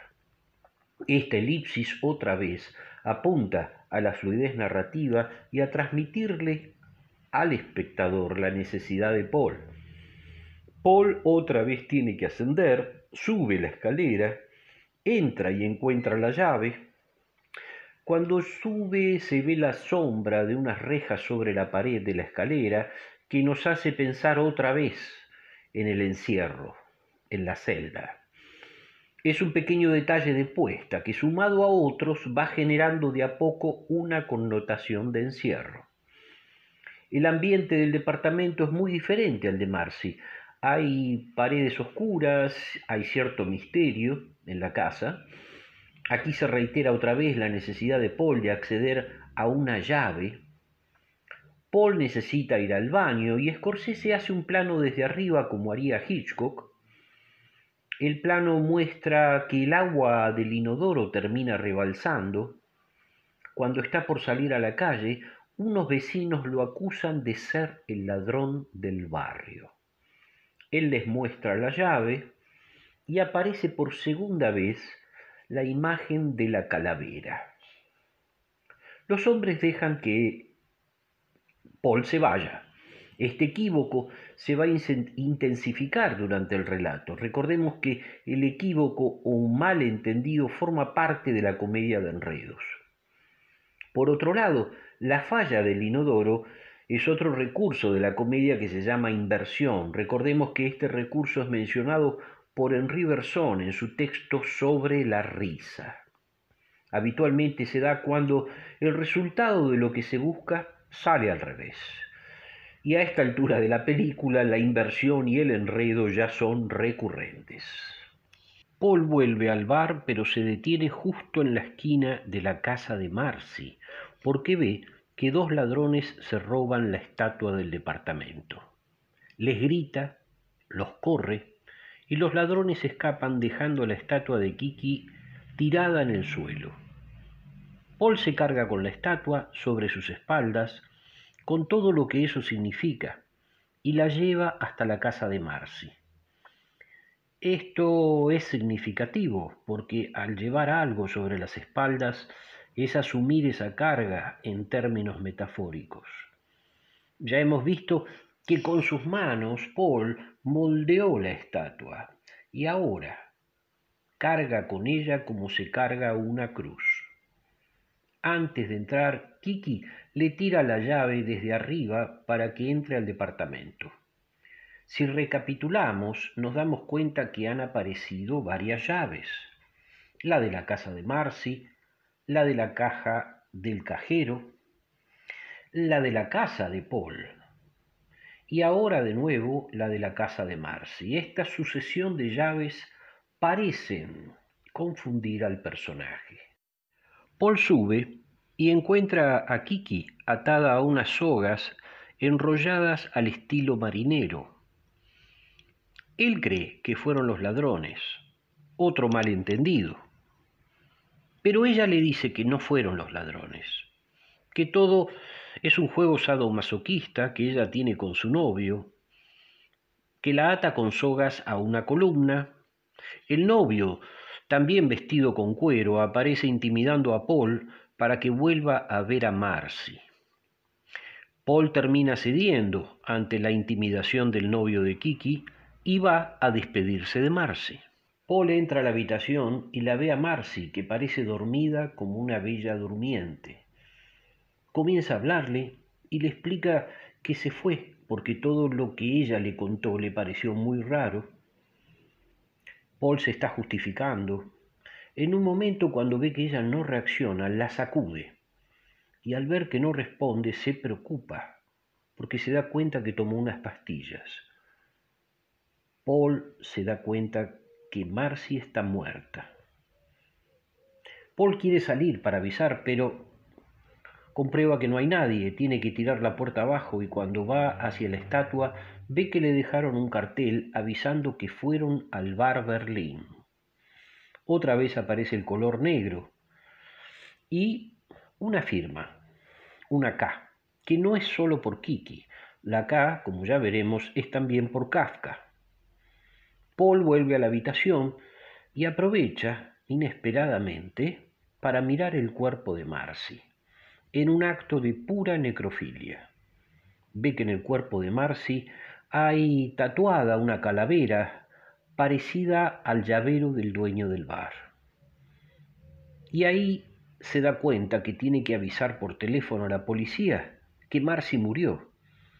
Vuelve al bar, pero antes deja un cartel que dice persona muerta y una flecha que apunta hacia donde está el cuerpo.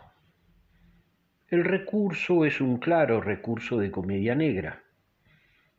La comedia negra se la llama así porque su humor tiene que ver con la muerte. Siempre vi a la comedia negra como una forma de exorcizar la muerte. Reírse de la muerte es un intento de aceptarla, de hacer catarsis con ella. Paul sale a la calle y deja un peine en la puerta para que no se cierre y pueda entrar la policía. A esta altura del relato nos damos cuenta que la comedia ha tomado un rumbo muy diferente al que parecía asomar al principio. Scorsese, sin duda, parece disfrutar con las desventuras de su personaje. Paul vuelve al bar, pero se da cuenta que está cerrado. En la puerta lo espera la mesera, quien le dice que renunció a su trabajo. A Paul no parece interesarle eso. En ese momento pasa la camioneta con los ladrones y Paul desesperado los corre, diciéndole que no sabía que ellos no eran ladrones. Otra vez el equívoco. Los ladrones siguen su camino a toda velocidad sin detenerse. Julie lo invita a su casa y él va, porque llueve y porque no tiene otro lugar a donde ir. Allí se encuentra con un look diferente al de las otras casas. La casa está llena de copias de retratos dibujados por Julie. También hay un dibujo de un arco iris, como en el Mago de Oz. Predomina el color amarillo la casa de Julie tiene un estilo quiche. Vuelven a aparecer los almohadones cuadriculados en blanco y negro. Hay objetos de acrílico que recuerdan a esos souvenirs que cualquiera podría comprar en el once. La iluminación, a diferencia de la casa de Kiki, es uniforme. Julie viste un vestido amarillo como los que se usaban en la década del 60 y su peinado también se asemeja a los de aquella época. Recordemos que el quiche es el mal gusto. El quiche, según Gilo Dorfles, es una degradación de un original, es decir, una copia de un original trasladada a otro contexto. Por ejemplo, la Gioconda como propaganda de una mermelada, la quinta sinfonía de Beethoven en ritmo de reggaetón. Y hablando de copias, en un momento Paul le pregunta a Julie qué música está escuchando. Y ella le dice, los Monkeys. Recordemos que los Monkeys fueron la copia de los Beatles, otra vez la copia. Y a esta altura la película hay una recurrencia llamativa al tema de la copia. No solo por la estatua, sino también por las llaves y por los retratos y por el estilo quiche de la mesera. Paul le cuenta el padecimiento de esa noche a Julie y mientras lo hace, ella empieza a hacer un retrato de él. Ella le pide que le cuente su vida como si fuera una terapeuta. Él se niega, se levanta y camina por la casa hasta que se sienta y mantiene una discusión. Los dos se calman hasta que en un momento hay un acercamiento entre ellos. Proveniente de la calle, se escucha una sirena de la policía. Esa sirena se va a repetir en otras ocasiones. Esta, sirena de la policía va creando un, un clima de inquietud. El plano conjunto de los dos sentados es parecido al de la casa de Marcy. Aquí se repite, como si se siguiera una discusión que empezó en la casa de Marcy. Otra vez el tema de las variaciones. Y Julie le pregunta si le gusta su peinado. Él le dice que sí. Ella le pide que le toque su peinado y al hacerlo se escucha que se levanta la persiana del bar de enfrente. Paul se levanta, pero queda enganchado en el pelo de Julie. Ella grita y él se suelta. Antes de irse, Paul le promete que en dos minutos va a volver a verla. Ella le dice que lo espera. Por corte va directo a un plano detalle de un vaso de bourbon que se llena. Otra vez Paul vuelve al bar. Entra corriendo como si por fin fuera la solución definitiva de su problema. Pero se lleva una sorpresa, una más. El dueño del bar le dice que creyó que le había robado. Paul le pide disculpas, le pide una pastilla de Viagra porque dice que quedó enganchado con su mesera. El dueño le dice Miss Colmena, 1965. Mientras ellos hablan a un costado de Paul, hay una pareja de gays que se besan apasionadamente. Otra vez aparece el contraste entre lo que Paul busca y lo que la noche le ofrece. En ese momento suena el teléfono y Paul se va caminando hacia el fondo porque no sabe qué resolución tomar. Ya trajo la llave, y el dueño del bar lo único que tiene que hacer es darle el dinero para poder volver a su casa. El espectador siente que Paul ha resuelto todo y realmente tiene que volver a su casa. Cuando parece tomar la resolución de volverse a su casa, vuelve a la barra, pero ve que el dueño acaba de recibir una mala noticia. El dueño está callado y en un momento Paul le escucha decir que su novia se suicidó. Los dos gays que están allí se compadecen con él. El dueño le dice que se suicidó por su culpa y la nombra. Y dice, Marcy, Marcy, y golpea sobre la barra. Cuando Paul escucha eso, Scorsese le hace un plano corto en el que vemos la reacción de Paul ante lo que acaba de escuchar. Griffith Dunn es un actor que logra expresar lo que siente con la mirada.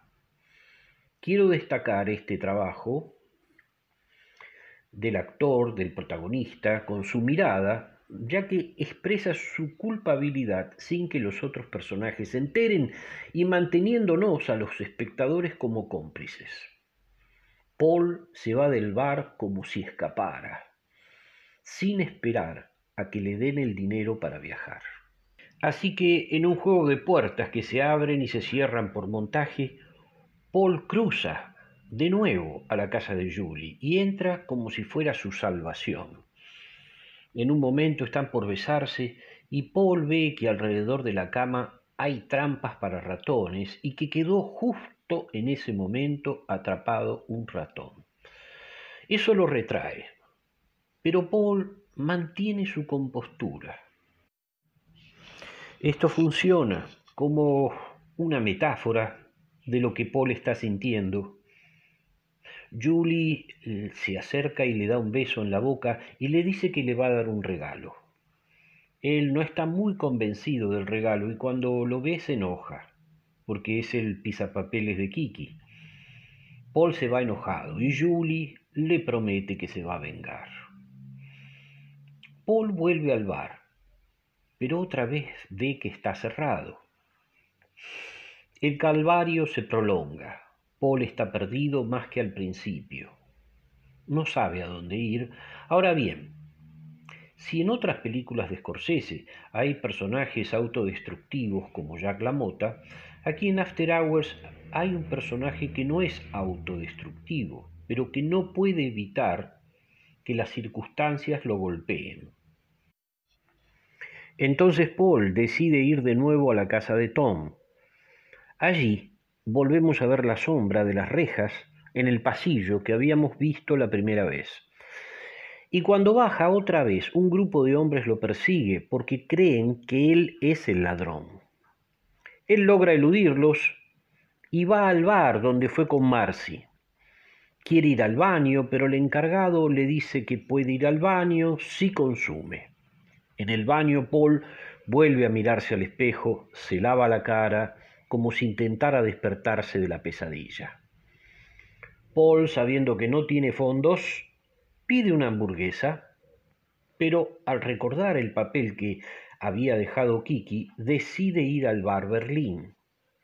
Para salir del bar, le miente al encargado y le dice que va a poner monedas al estacionamiento del auto. Paul va al bar Berlín. Un traveling lateral acompaña su recorrido. En la entrada, un patovica no lo deja entrar. El patovica también está en desnivel por encima de Paul, haciendo hincapié en la permanente desventaja de Paul. Y otra vez, una puerta a la que no se puede entrar. El diálogo que mantienen es una clara referencia al relato de Kafka, Ante la ley, en la que un hombre quiere entrar a un lugar pero no lo dejan entrar. Aquí Scorsese hace una inversión del relato, como en todos los otros relatos. A diferencia de Kafka, Scorsese deja entrar a Paul al boliche Berlín. La pregunta es por qué razón Scorsese deja entrar a Paul.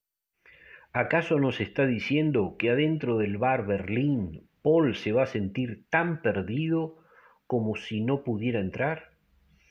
Adentro hay una fiesta punk la puesta en escena espacial parece la de un campo de concentración. Hay un alambrado, hay luces con seguidores y los que bailan están agrupados y saltan como si hicieran un pogo. El guardián patovica que lo conduce a Paul hacia un lugar donde le cortan el pelo, lo está llevando a la fuerza.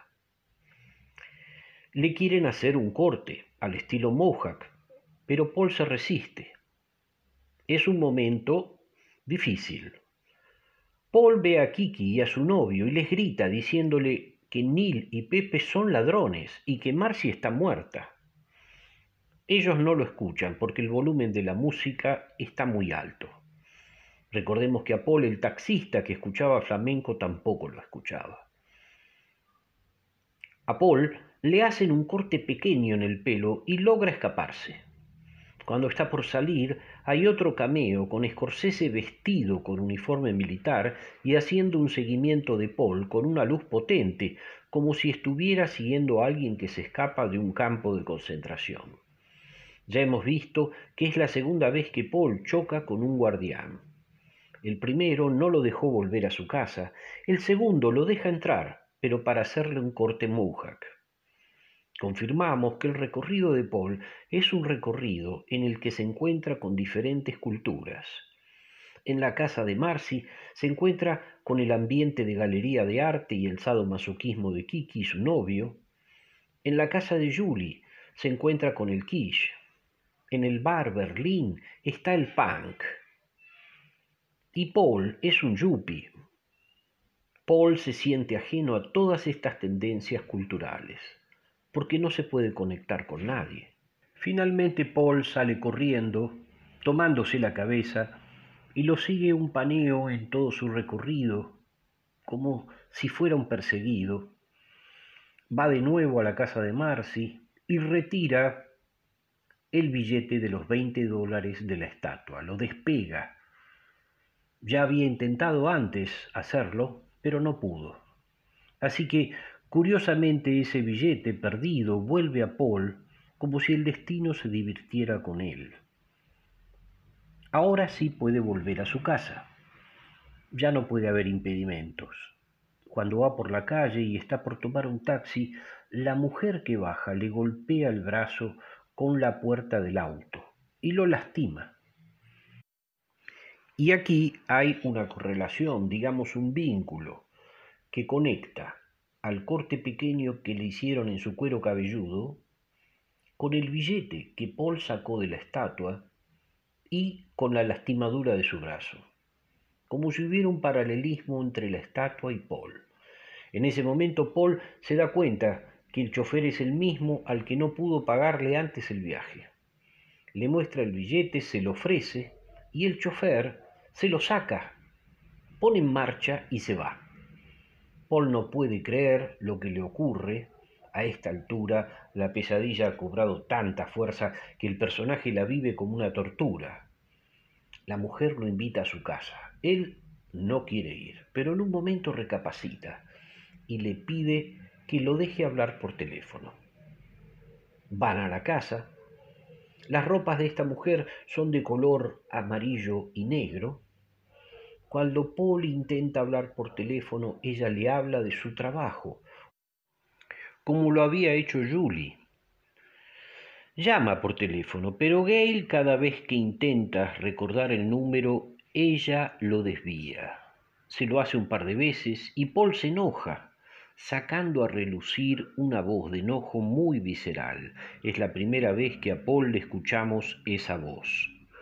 La casa de Gale tiene un look extraño, en la pared hay colgada una vestimenta negra que parece de mujer y que podría asemejarse a una toga o a la vestimenta de una bruja. Recordemos que en el Mago de Oz hay brujas la mujer es rubia como las otras, pero su carácter es dominante. Tanto que cuando él quiere irse, ella se lo impide, porque dice que antes de irse quiere curarle el brazo. Otra vez Paul queda al descubierto, porque tiene que sacarse su camisa. Como hay un papel pegado en el, en el brazo, se lo quiere sacar. Scorsese hace otro plano detalle. El papel es una noticia del diario donde se anuncia que a un hombre lo han matado. Una horda de vecinos enardecidos han matado a un hombre y le han desfigurado el rostro. Ella le quiere sacar el papel, pero él no quiere. Ella quiere usar fuego, pero él se niega porque el fuego le recuerda a las quemaduras de Marcy. Los dos salen a la calle porque ella está dispuesta a llevarlo en su combi. Otra vez parece estar la solución a mano, pero mientras caminan, la mujer ve un volante en la calle, lo arranca e inesperadamente hace sonar un silbato como si fuera una líder vecinal. Paul no entiende lo que ocurre. Aquí el montaje impide que el espectador vea lo que hay en el volante. Paul le pregunta por qué toca el silbato. Gale le responde, estás muerto. Y aquí me gustaría hacer una observación. La muerte ha ido apareciendo de diversas formas, no sólo por lo que ella le dijo, sino también porque en su cinturón ella también lleva una calavera. Paul, aunque permanezca vivo, está experimentando una forma de muerte a cada rato. Lo empiezan a perseguir vecinos por la calle y Paul corre desesperado. Ya habíamos visto que cuando Paul fue por segunda vez a la casa del dueño del bar, tres hombres lo habían perseguido. Ahora los que los persiguen son una multitud. Ese recurso de comedia es lo que habitualmente conocemos como bola de nieve, ya que el aumento es desproporcionado con respecto a la primera vez. En un momento ve que una mujer mata a un hombre en su casa. Es una clara referencia a la ventana indiscreta, desde ya que a partir de una inversión, del original. Aquí otra vez Paul está rodeado de rejas, como si estuviera en una prisión. Y Paul, al ver ese asesinato, dice que seguramente le van a echar la culpa a él. Paul logra escapar. Su sufrimiento lo lleva a la desesperación. En un momento se arrodilla en el asfalto y mira hacia el cielo gritando, ¿qué hice yo para merecer esto? Si soy solo un procesador de textos. Es la primera vez que vemos a Paul mirar hacia el cielo, como si le hablara a Dios. El razonamiento de Paul parece decirnos que él no es alguien que haya cometido un pecado grave, como si fuera un personaje de una tragedia, que él es alguien simple, que es un procesador de textos, una persona común, que no puede hacer ningún mal. En un momento aparece un hombre que parece surgir a causa de su pedido a Dios. Detrás del hombre también hay rejas. Al hombre le pide ir a su casa para hablar por teléfono. El hombre accede, pero aclara que nunca hizo esto con un hombre. Paul mira extrañado, pero lo deja pasar. Por corte, entra corriendo a la casa y toma el teléfono. El teléfono es de color negro, vuelve a aparecer el color negro y llama directamente a la policía y le dice que lo quieren matar. Del otro lado, el policía le dice que se vaya a dormir. Otra vez nuestro personaje necesita lavarse la cara frente al espejo. La casa del hombre tiene un look de café concert ideal para un stand-up. Paul le cuenta al hombre su historia buscando un apoyo, buscando comprensión. Y mientras lo hace se da cuenta que el hombre es gay, por algo que el hombre sugiere. Paul no le da importancia y sigue contándole toda su historia como si se confesara, como si estuviera en una terapia, y lo hace de pie, de una manera histriónica. El hombre lo mira y lo escucha, como si fuera un psicólogo, está sentado en un sillón rojo, bien en la punta como hacen los terapeutas, y Paul, luego de contarle toda su historia entre fundidos encadenados, se pregunta con dolor, pero con un claro histrionismo, ¿yo vine en busca de una chica y ahora por eso debo morir? Esa es una pregunta existencial lo fascinante es que Paul se la hace en un contexto de humor negro. Mientras sigue con su relato, Paul ve desde la ventana a Julie que pega carteles. La llama y ella escapa. Él baja corriendo y ve que los carteles que ella pega tienen su retrato con un texto que dice detengan a este hombre. Al leer esto, Paul sale corriendo porque ve que lo persiguen. Paul huye y va arrancando todos los volantes de color amarillo que tienen impreso su retrato. Ahí entendemos por qué Gale hizo sonar su silbato.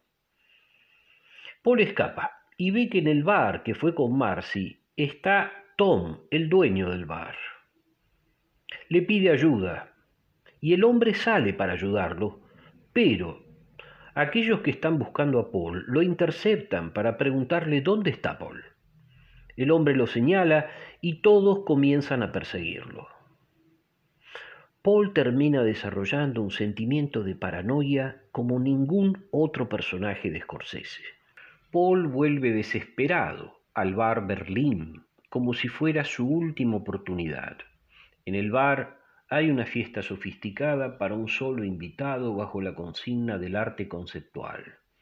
La pesadilla es cada vez más absurda. En una silla, Paul ve a una mujer rubia de cierta edad que lo está esperando. La mujer está vestida de negro, con toda la connotación que eso implica. Paul va al baño a prepararse. Está vencido, pero vuelve a mirarse al espejo mientras se hace el nudo de la corbata. Esta es una escena fascinante, una de mis preferidas, ya que Paul por fin parece entregarse parece entregarse a una mujer que está dispuesta a estar con él. La escena tiene su encanto porque Paul, si bien está resignado, se comporta de otra manera, como si fuera un caballero. Paul le pide a June poder estar con ella sin que lo traten mal, sin que le griten. Dice, mi alma está desnuda. Por otro lado, está el fuera de campo, en el que se encuentran sus perseguidores callejeros. Y por último hay un tercer relato en la canción que se escucha cuando bailan. Son tres historias. Paul la invita a bailar y ella acepta y baila, y mientras lo hacen se escucha la canción que se hace referencia al fuego. La canción es Is There All the Is? La mujer se llama June, como una de las mujeres de Henry Miller. Mientras bailan, ella le pregunta a Paul por qué intenta seducirla, qué es lo que se propone. Y Paul responde como si respondiera a una pregunta que se hace la cantante. Dice, lo único que quiero es vivir.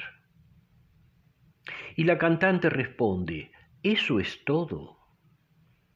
Y Paul responde como si intentara alejarse de la muerte. En ese momento del baile, ella lo conduce al subsuelo, donde tiene su atelier. Otra vez aparece el descenso a los infiernos. Recordemos también en relación a lo que está abajo que en la poética del espacio Bachelard hace referencia a que lo que está abajo es el inconsciente. Aquí ese descenso al infierno o al inconsciente es el descenso a un atelier. Paul se duerme sobre ella como si ella fuera su madre, acurrucado, como si fuera un niño que vuelve de la infancia al regazo de su madre.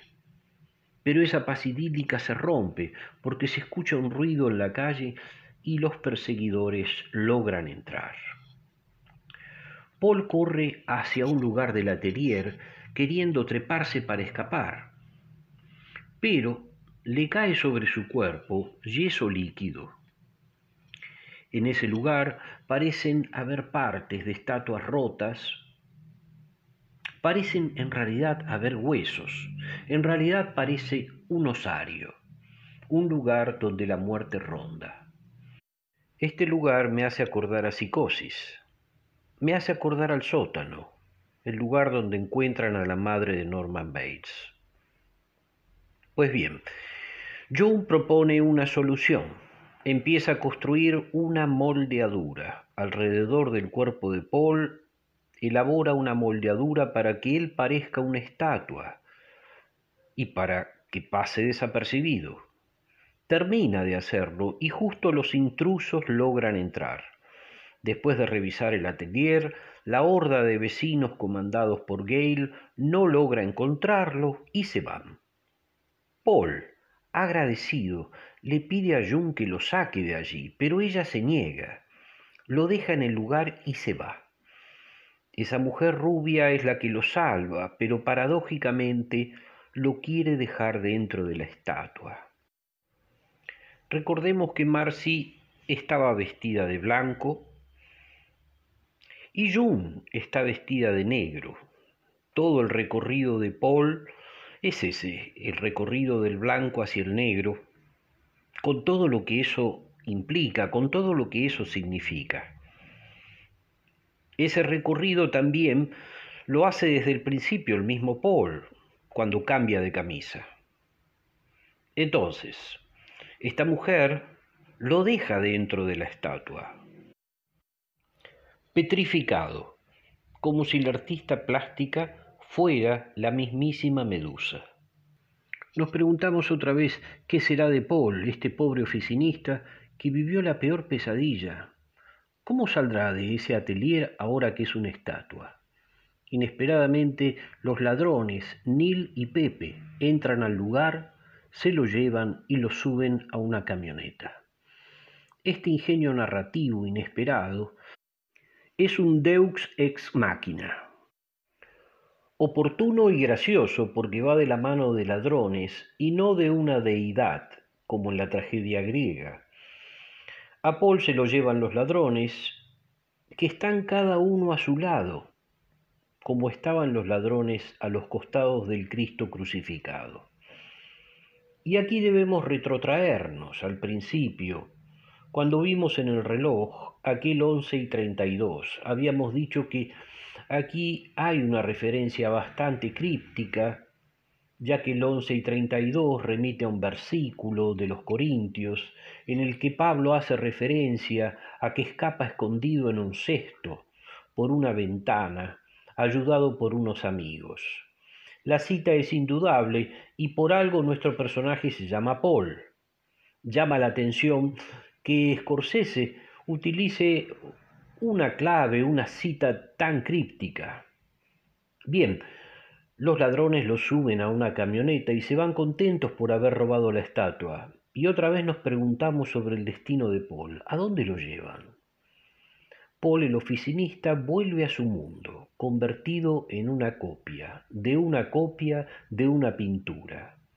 Paul es una obra quiche, anónima, un objeto artístico descartable y degradado.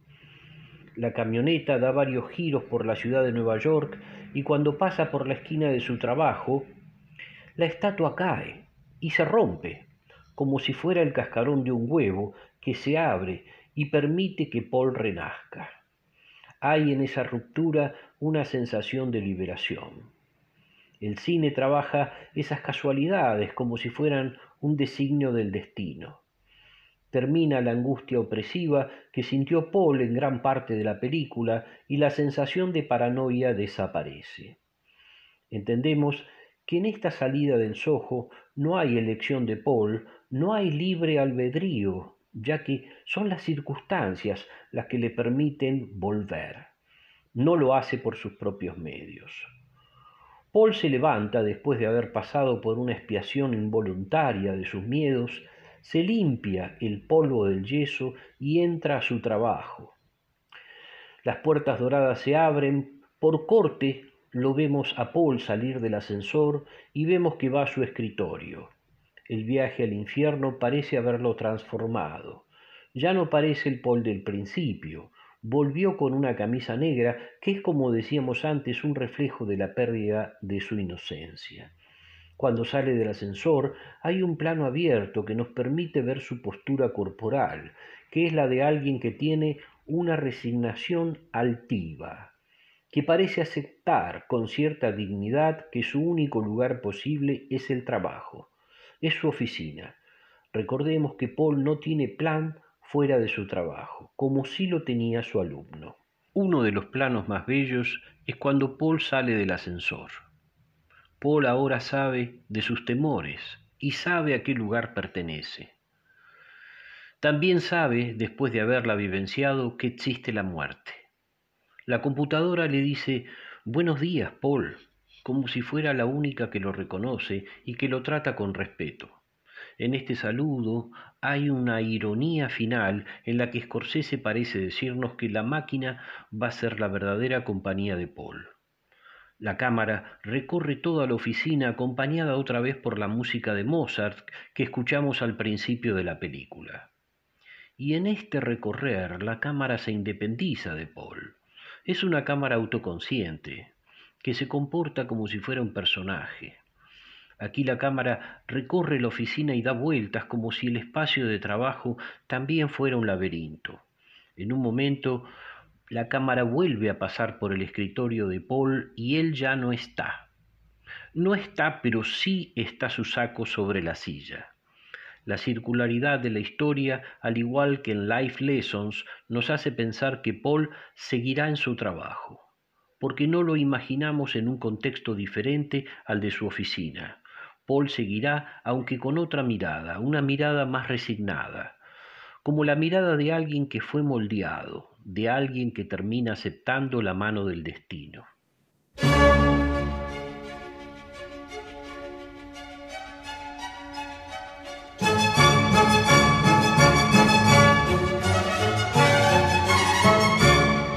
Muchísimas gracias a todos por haber escuchado este episodio de Cracosia Lado B con este análisis de After Hours. Nos estamos encontrando la próxima vez que ustedes quieran escucharnos, en definitiva, porque Cracosia Lado B va subiendo material inédito de, de Cracosia Lado A y, dividiendo también algunas, algunas películas. Y recuerden, si quieren también completar un poco con Scorsese, se quedaron con ganas de escuchar más hablar de, de, Martin, tenemos un episodio en el lado A del podcast, lo pueden encontrar en Spotify por supuesto, donde, donde, esté, donde estén escuchando esto, sobre su película más reciente hasta el momento, The Irishman, con Robert De Niro, Al Pacino y todas esas figuras. Un episodio bastante extenso también que hemos hecho con motivo de la salida de The Irishman, un poco analizando lo parecido, eh, salvando las, diferencias por supuesto, pero eh, en profundidad sobre, sobre esta gran película, para completar si desean. Y si no, nos estamos encontrando, nos estamos escuchando en el momento que ustedes deseen. Hasta la próxima.